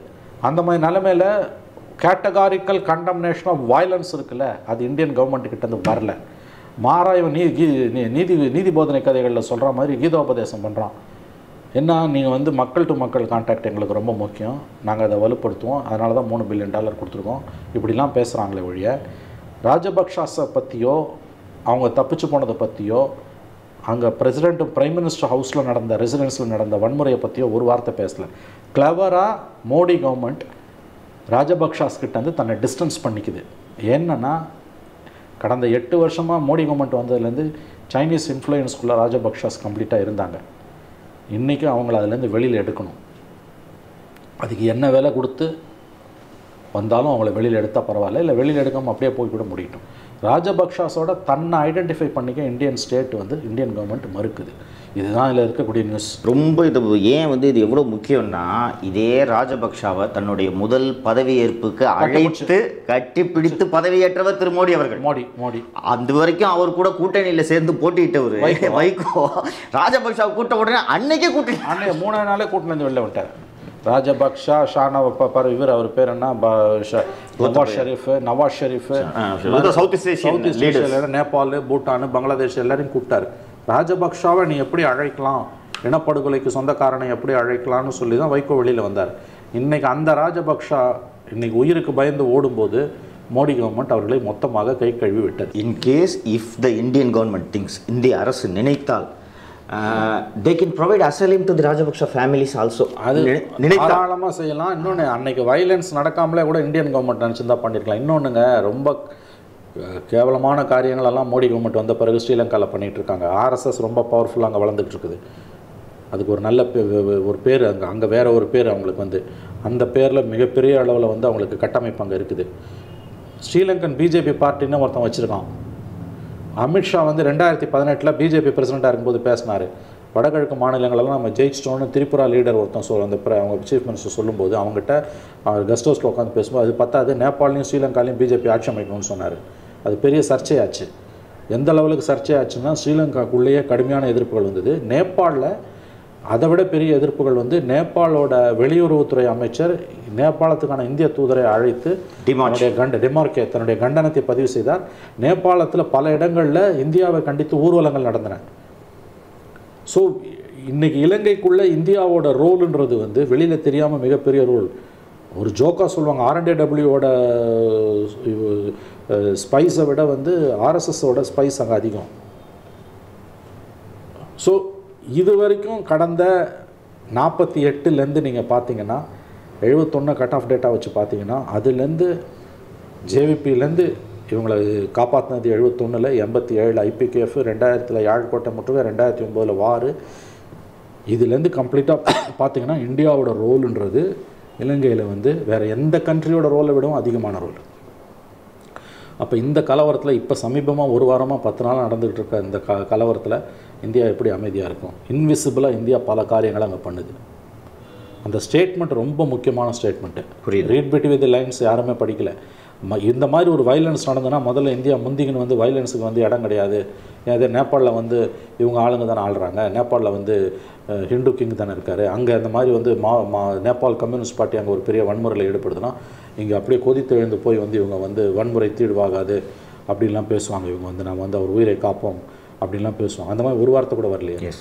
ஏன் ராஜபக்ஷ உயிருக்கு பயந்து ஓடும்போது வன்முறையை நாங்கள் கண்டிக்கிறோம். தேர்ந்தெடுக்கப்பட்ட ஒரு அரசு இருக்குது. அதை வந்து நீங்கள் அரசியல் சாசன ரீதியாக தேர்தல் மூலமாக தான் மாற்றணும் அப்படிலாம் ஒரு வார்த்தை வரல. இன்ட்ரெஸ்டிங்லி சுப்பிரமணிய சாமியோட ட்வீட் வருது. Military வைஸ் இந்தியா இன்வால்வ் ஆகணும்னு ராஜபக்ஷா வந்து சுப்பிரமணிய சாமி க்ளோஸு எஸ் அதை விட முக்கியம் என்னென்னா சுப்பிரமணிய சாமி யாருன்னா இன்டெலிஜென்ஸ்குள்ளே ஒரு section R and W counter intelligence குறிப்பாக ஆர்என்டே டபிள்யூக்குள்ளே ஒரு செக்ஷன் எப்பயுமே வந்து அஃபிஷியல் எனக்கு எதிராக இருப்பான் இல்லையா? அவரோட வாய்ஸ் தான் அவங்களோட வாய்ஸ் தான் சுப்பிரமணிய சாமி ஏங்க ரூலிங் பார்ட்டியோட எம்பி சொல்கிறாருங்க இந்தியா military வைஸ் தலையிடணுன்ற மேஜர் ஸ்டேட்மெண்ட் military வைஸ்லாம் இந்தியா நீங்கள் ஸ்ரீலங்காவில் போச்சுன்னு வச்சுக்கோங்க. It's it will be a disaster ஏன்னா சைனீஸ் சும்மா இருக்க மாட்டான்.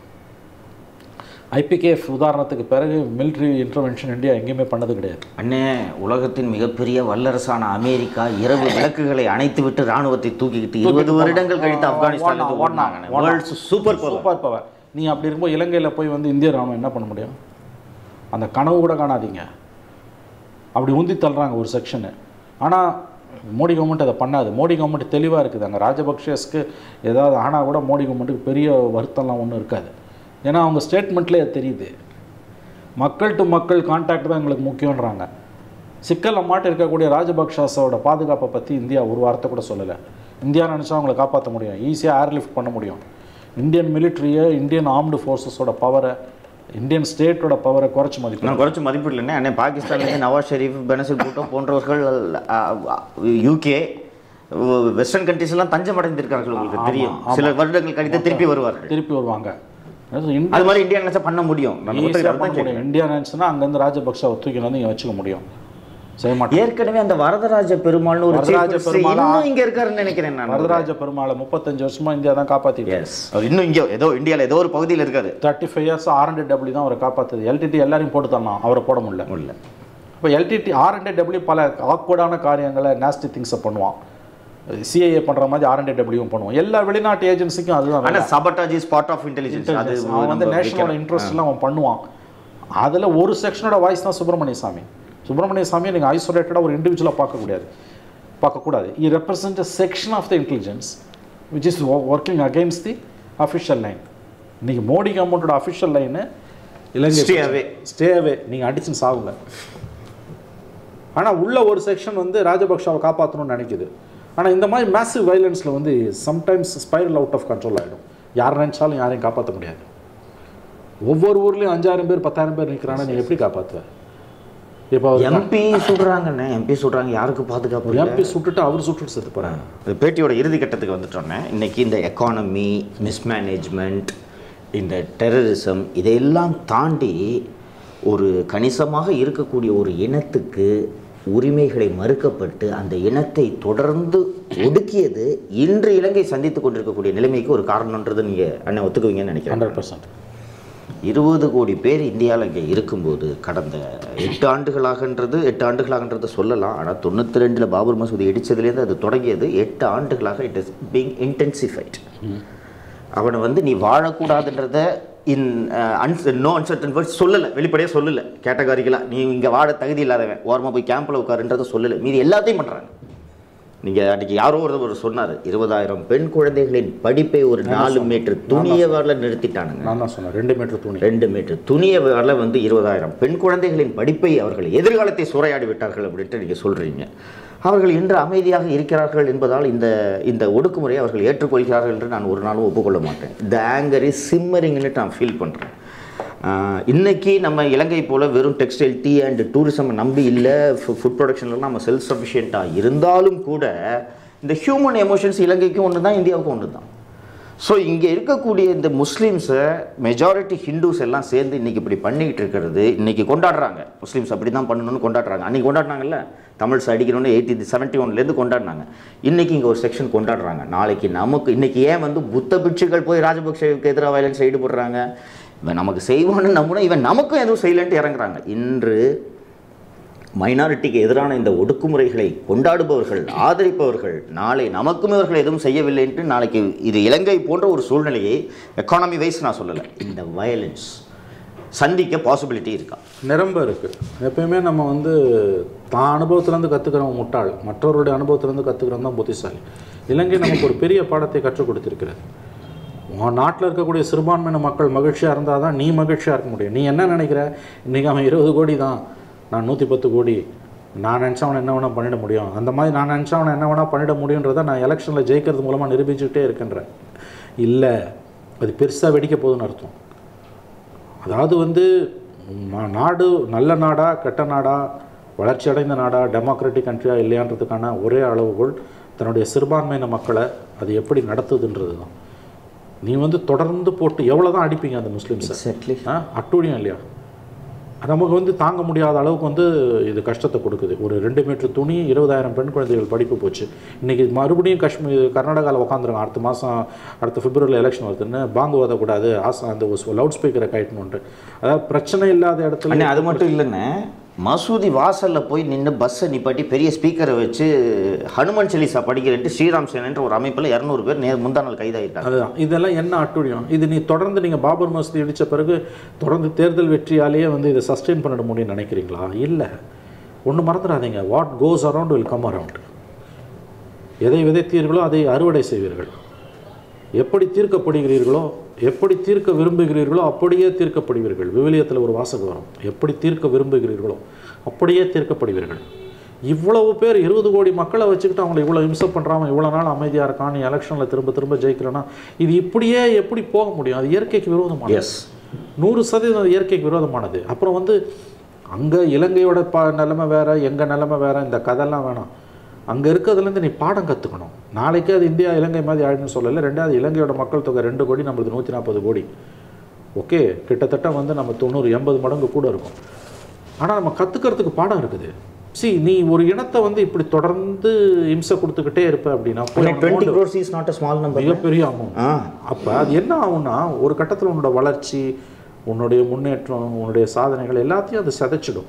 ஸோ இலங்கையிலிருந்து நாளைக்கே இலங்கை மாதிரி ஆயிடும்னு பேசலை. இலங்கையிலிருந்து இந்தியா பாடம் கற்றுக்கொள்வதற்கு இயற்கை ஒரு வாய்ப்பை கொடுத்துருக்கிறது. திருந்துங்கடா அப்படின்னு. இப்போ என்ன பண்ணுறான் ம இதில் வந்து மதுராவில் அந்த கியான் வாப் மசூ கியான் வாப் மசூதியில் போய் அங்கே உள்ளே உட்காந்துங்கன்னு வீடியோ எடுப்பேன்னு. கோர்ட்டும் நீதிமன்றங்களும் வந்து பார்த்திங்கன்னா வந்து குறிப்பாக கீழமை நீதிமன்றங்களோட செயல்பாடுகள் ரொம்பவும் துரதிருஷ்டவசமானவையாக இருக்கின்றன. அந்த இடத்துல வந்து அது ஹிந்து டெம்பிள்ன்றான். அப்படி பார்த்தீங்கன்னா வந்து பெரும்பாலான மாஸ்க்கை நோண்டினீங்கன்னா கீழே விக்கிரகம் இருக்கும். இன்றைக்கி போய் ஒரு நாகரிக சமூகம் அந்த புல்டோசர் எடுத்துகிட்டு போய் இடிக்க முடியுமா? கடப்பாரையும் புல்டோசரும் எடுத்துகிட்டு தான் சுற்றணும் ஒரு பிஜேபி மெம்பர் வந்து ஏதோ ஒரு கேட்டில் கோர்ட்டில் கேஸ் போட்டிருக்கான். தாஜ் தாஜ் தாஜ்மஹால் உள்ள ரூம்ஸ் சில ரூம்ஸ் பூட்டி இருக்குதான். அது ஏஎஸ்ஐ கண்ட்ரோலில் இருக்குது அதுக்குள்ள இந்து விக்கிரகம் இருக்குன்றான். இந்த மாதிரி பெட்டிஷனை நீதிமன்றங்கள் எப்படி என்டர்டெயின் பண்ணுது? இப்படி தான் வந்து முதல்ல பாபர் மசூதி அது பத்தொன்பதாம் நூற்றாண்டில் ஆரம்பிச்சாங்க. இப்போ கடந்த சில ஆண்டுகளாக நடந்து இப்போ பிக்கப் ஆயிருக்கிறது எதுனா மதுராவில் கிருஷ்ண ஜென்மபூமி. பக்கத்தில் பக்கத்தில் கிருஷ்ணர் கோயிலும் மாஸ்க்கும் இருக்கு. நான் போயிருக்கிறேன். அது எல் ஷேப்பு அந்த எல்லுக்கு நடுவுல மசூதி. மசூதி. இந்த எல்லு கோவில். கோவில். இப்போ என்ன பண்ணோம்? இப்போ எங்கே போகுது அதுன்னா தெளிவாக சொல்கிறாங்க ரெண்டாயிரத்தி இருபத்தி நாலுக்குள்ளே அங்கே பெரிய கலவரம் வெடிக்கும். மிகப்பெரிய அளவில் வந்து நடக்க வேண்டியதெல்லாம் நடக்கும். பாபர் மஸ்தி இஷ்யூ பற்றி எரிஞ்ச மாதிரி வந்து மதுராவில் வந்து கிருஷ்ண ஜென்மபூமி இஷ்யூ வந்து கிளறப்படும். என்னெல்லாம் நடக்கணுமோ அதெல்லாம் நடக்கும். நாங்கள் ரெண்டாயிரத்தி இருபத்தி நாலில் ஜெயிப்போம். உன்னால் முடிஞ்சால் நீ பார்த்துக்கோ அப்படின்னு வெளிப்படையாகவே பிஜேபி எம்பிஸ் வந்து பேசுகிறாங்கன்னு ஒரு டிஎம்கே எம்பி என்கிட்ட சொன்னார். இப்படி தான் சார் பேசுகிறாங்கன்னு அவங்க தெளிவாக இருக்காங்க. அவங்க உன்னால் என்ன பண்ண முடியும்? வணிகம் ஒரு பத்து பதினஞ்சாயிரம் பேர் வந்து சொர்க்கத்திற்கு போவார்கள். போகட்டும். நாங்கள் எங்கள் இலக்குகளை அடைவோம். இருபத்தி நாலில் ஜெயிப்போம். இது தெளிவாக அவங்க வச்சுருக்குது அது அது பார்த்தீங்கன்னா அதை நோக்கி இப்போ நகருது. கடந்த பத்து நாளாக பார்த்தீங்கன்னா பதினஞ்சு நாளாக பார்த்தீங்கன்னா ஏங்க கோர்ட்டே வந்து இந்த மாதிரி ஒரு ஆர்டரை பாஸ் பண்ணுதுங்க. ஒருத்தன் வந்து சொல்கிறான் இந்த கிருஷ்ண ஜென்மபூமி கீழே மாஸ்க் இருக்குதுன்னா. நோண்ட நோண்ட எல்லாத்தையும் நோண்டினா ஏதாவது ஒன்று இருக்கும். அதுக்கு ஒரு கோர்ட் கமிஷனர் அட்வொகேட் கமிஷனர் அவன் வந்து வீடியோ எடுக்க வரும்போது விட மாட்டேன்றாங்க. பிரச்சனை வருது. அப்போ இது வந்து இலங்கையை பார்த்து நீ கற்றுக்கணும் நீ வந்து அவ்வளோ ரொம்ப சின்ன ஒரு நாடு ரெண்டு கோடி இருபது லட்சம் பேர் தான் மக்கள் தொகையை. தமிழர்கள் என்ன ஒரு சில லட்சங்கள் இருப்பாங்க அவ்வளோதான் அங்கேயே வந்து இன்றைக்கி இந்த நிலைமை வருது. இருபது கோடி முஸ்லீம்ஸ் எவ்வளோ நாளைக்கு அவன் அமைதியாக இருப்பான்? நான் வாழவே முடியாது. நீ வாழ விட மாட்டீங்க. அவன் எங்க ரெண்டுக்கு போவான்ல? நாளைக்கு ஏன் வந்து சூசைட் பாம்பர்ஸை தடுக்க முடியாது? அவன் உயிரிழக்க துணிஞ்சுட்டான். உயிரிழக்க அவன் வந்து உயிரிழக்க துணிச்சிட்டான் ஒருத்தன் உயிருக்கு பயப்படுற போது தான் அவனுக்கு ஜெயிலில் காமிச்சு நீ மிரட்டலாம். ஆயுள் தண்டனை தூக்கு தண்டனை. அவன் தான் நான் ஏற்கனவே சாவரன்ட்டானே. அப்புறம் எதை காமிச்சு மிரட்டுவேன் அப்போ ஒரு சமூகத்தையே ஒரு இருபது கோடி மக்கள் இருபது கோடி மக்கள்ன்றது இங்கிலாந்து பிரான்ஸு ஜெர்மனியோட மொத்த மக்கள் தொகை. Exactly huge numbers huge numbers மூன்று நாடுகளோட மக்கள் தொகை. நீ அவனுக்கு எவ்வளோதான்டா போட்டு அடிப்பீங்க? ஹிஜாபு போடக்கூடாதுன்னு ஹலால் பிரச்சனையை கிளப்பின. பாங்கு ஓதக்கூடாது வாங்க வாதக்கூடாதுன்னு. முஸ்லீம் மசூ வியாபாரிகள் வந்து கோயிலை சுற்றி இருக்கக்கூடாதுன்னு. அப்புறம் முஸ்லீம் டாக்ஸி டிரைவர்ஸ் இருக்கக்கூடாதுன்னு. எவ்வளோ ஐஏஎஸ் ஆபீசஸ்ல முஸ்லீம் அதிக யூபிஎஸ்சி ஜிகாத் அது பேர் ஆமாம் லவ் ஜிகாத் மாதிரி யூபிஎஸ்சி ஜிகாத் அப்புறம் நான் நீ எப்படி கல்யாணம் பண்ணணும் நீ எப்படி டைவர்ஸ் பண்ணுன்றதை நான் முடிவு நான். முடிவு பண்ணுவேன்ற. எவ்வளோ தாண்டா ஒரு சமூகத்தை போட்டு அடிப்பீங்க? அப்போ அதுக்கெல்லாம் ஒரு எதிர்வினை இருக்காதா? இப்போ இவ்வளோ நாள் எதிர்வினை இல்லாதது ஆச்சரியமானது. ஓப்பனாக சொல்கிறது நான் to be frank with you அதனால் நான் உசுப்புறேன்னு சொல்லாதீங்க. No no no no I will not சத்தியமான நானு நானு in a sense I salute that community of course இவ்வளவு அட்டுழியத்துக்கு மத்தியிலையும் அமைதியாக இருக்கக்கூடிய இஸ்லாமிய சமூகத்திற்கு நான் தலை வணங்குகிறேன். ஐ சல்யூட் தம் இவ்வளவு அமைதியாக இந்த நாட்டோட அரசியலமைப்பு சாசனத்துக்கு உட்பட்டு அவங்க நிற்கிறாங்க போராட்டங்களை வந்து சட்டத்துக்கு உட்பட்டு தான் எடுக்கிறாங்க. ஐ சல்யூட் தம் எவ்வளோ நாளைக்கு? அதாவது வந்து இதெல்லாம் பார்க்கறதே ஒரு தண்டனை. இந்த நிகழ்வுகளை பார்ப்பதே நமக்கு கொடுக்கப்பட்ட ஒரு தண்டனைன்னு தான் எனக்கு தோணுது.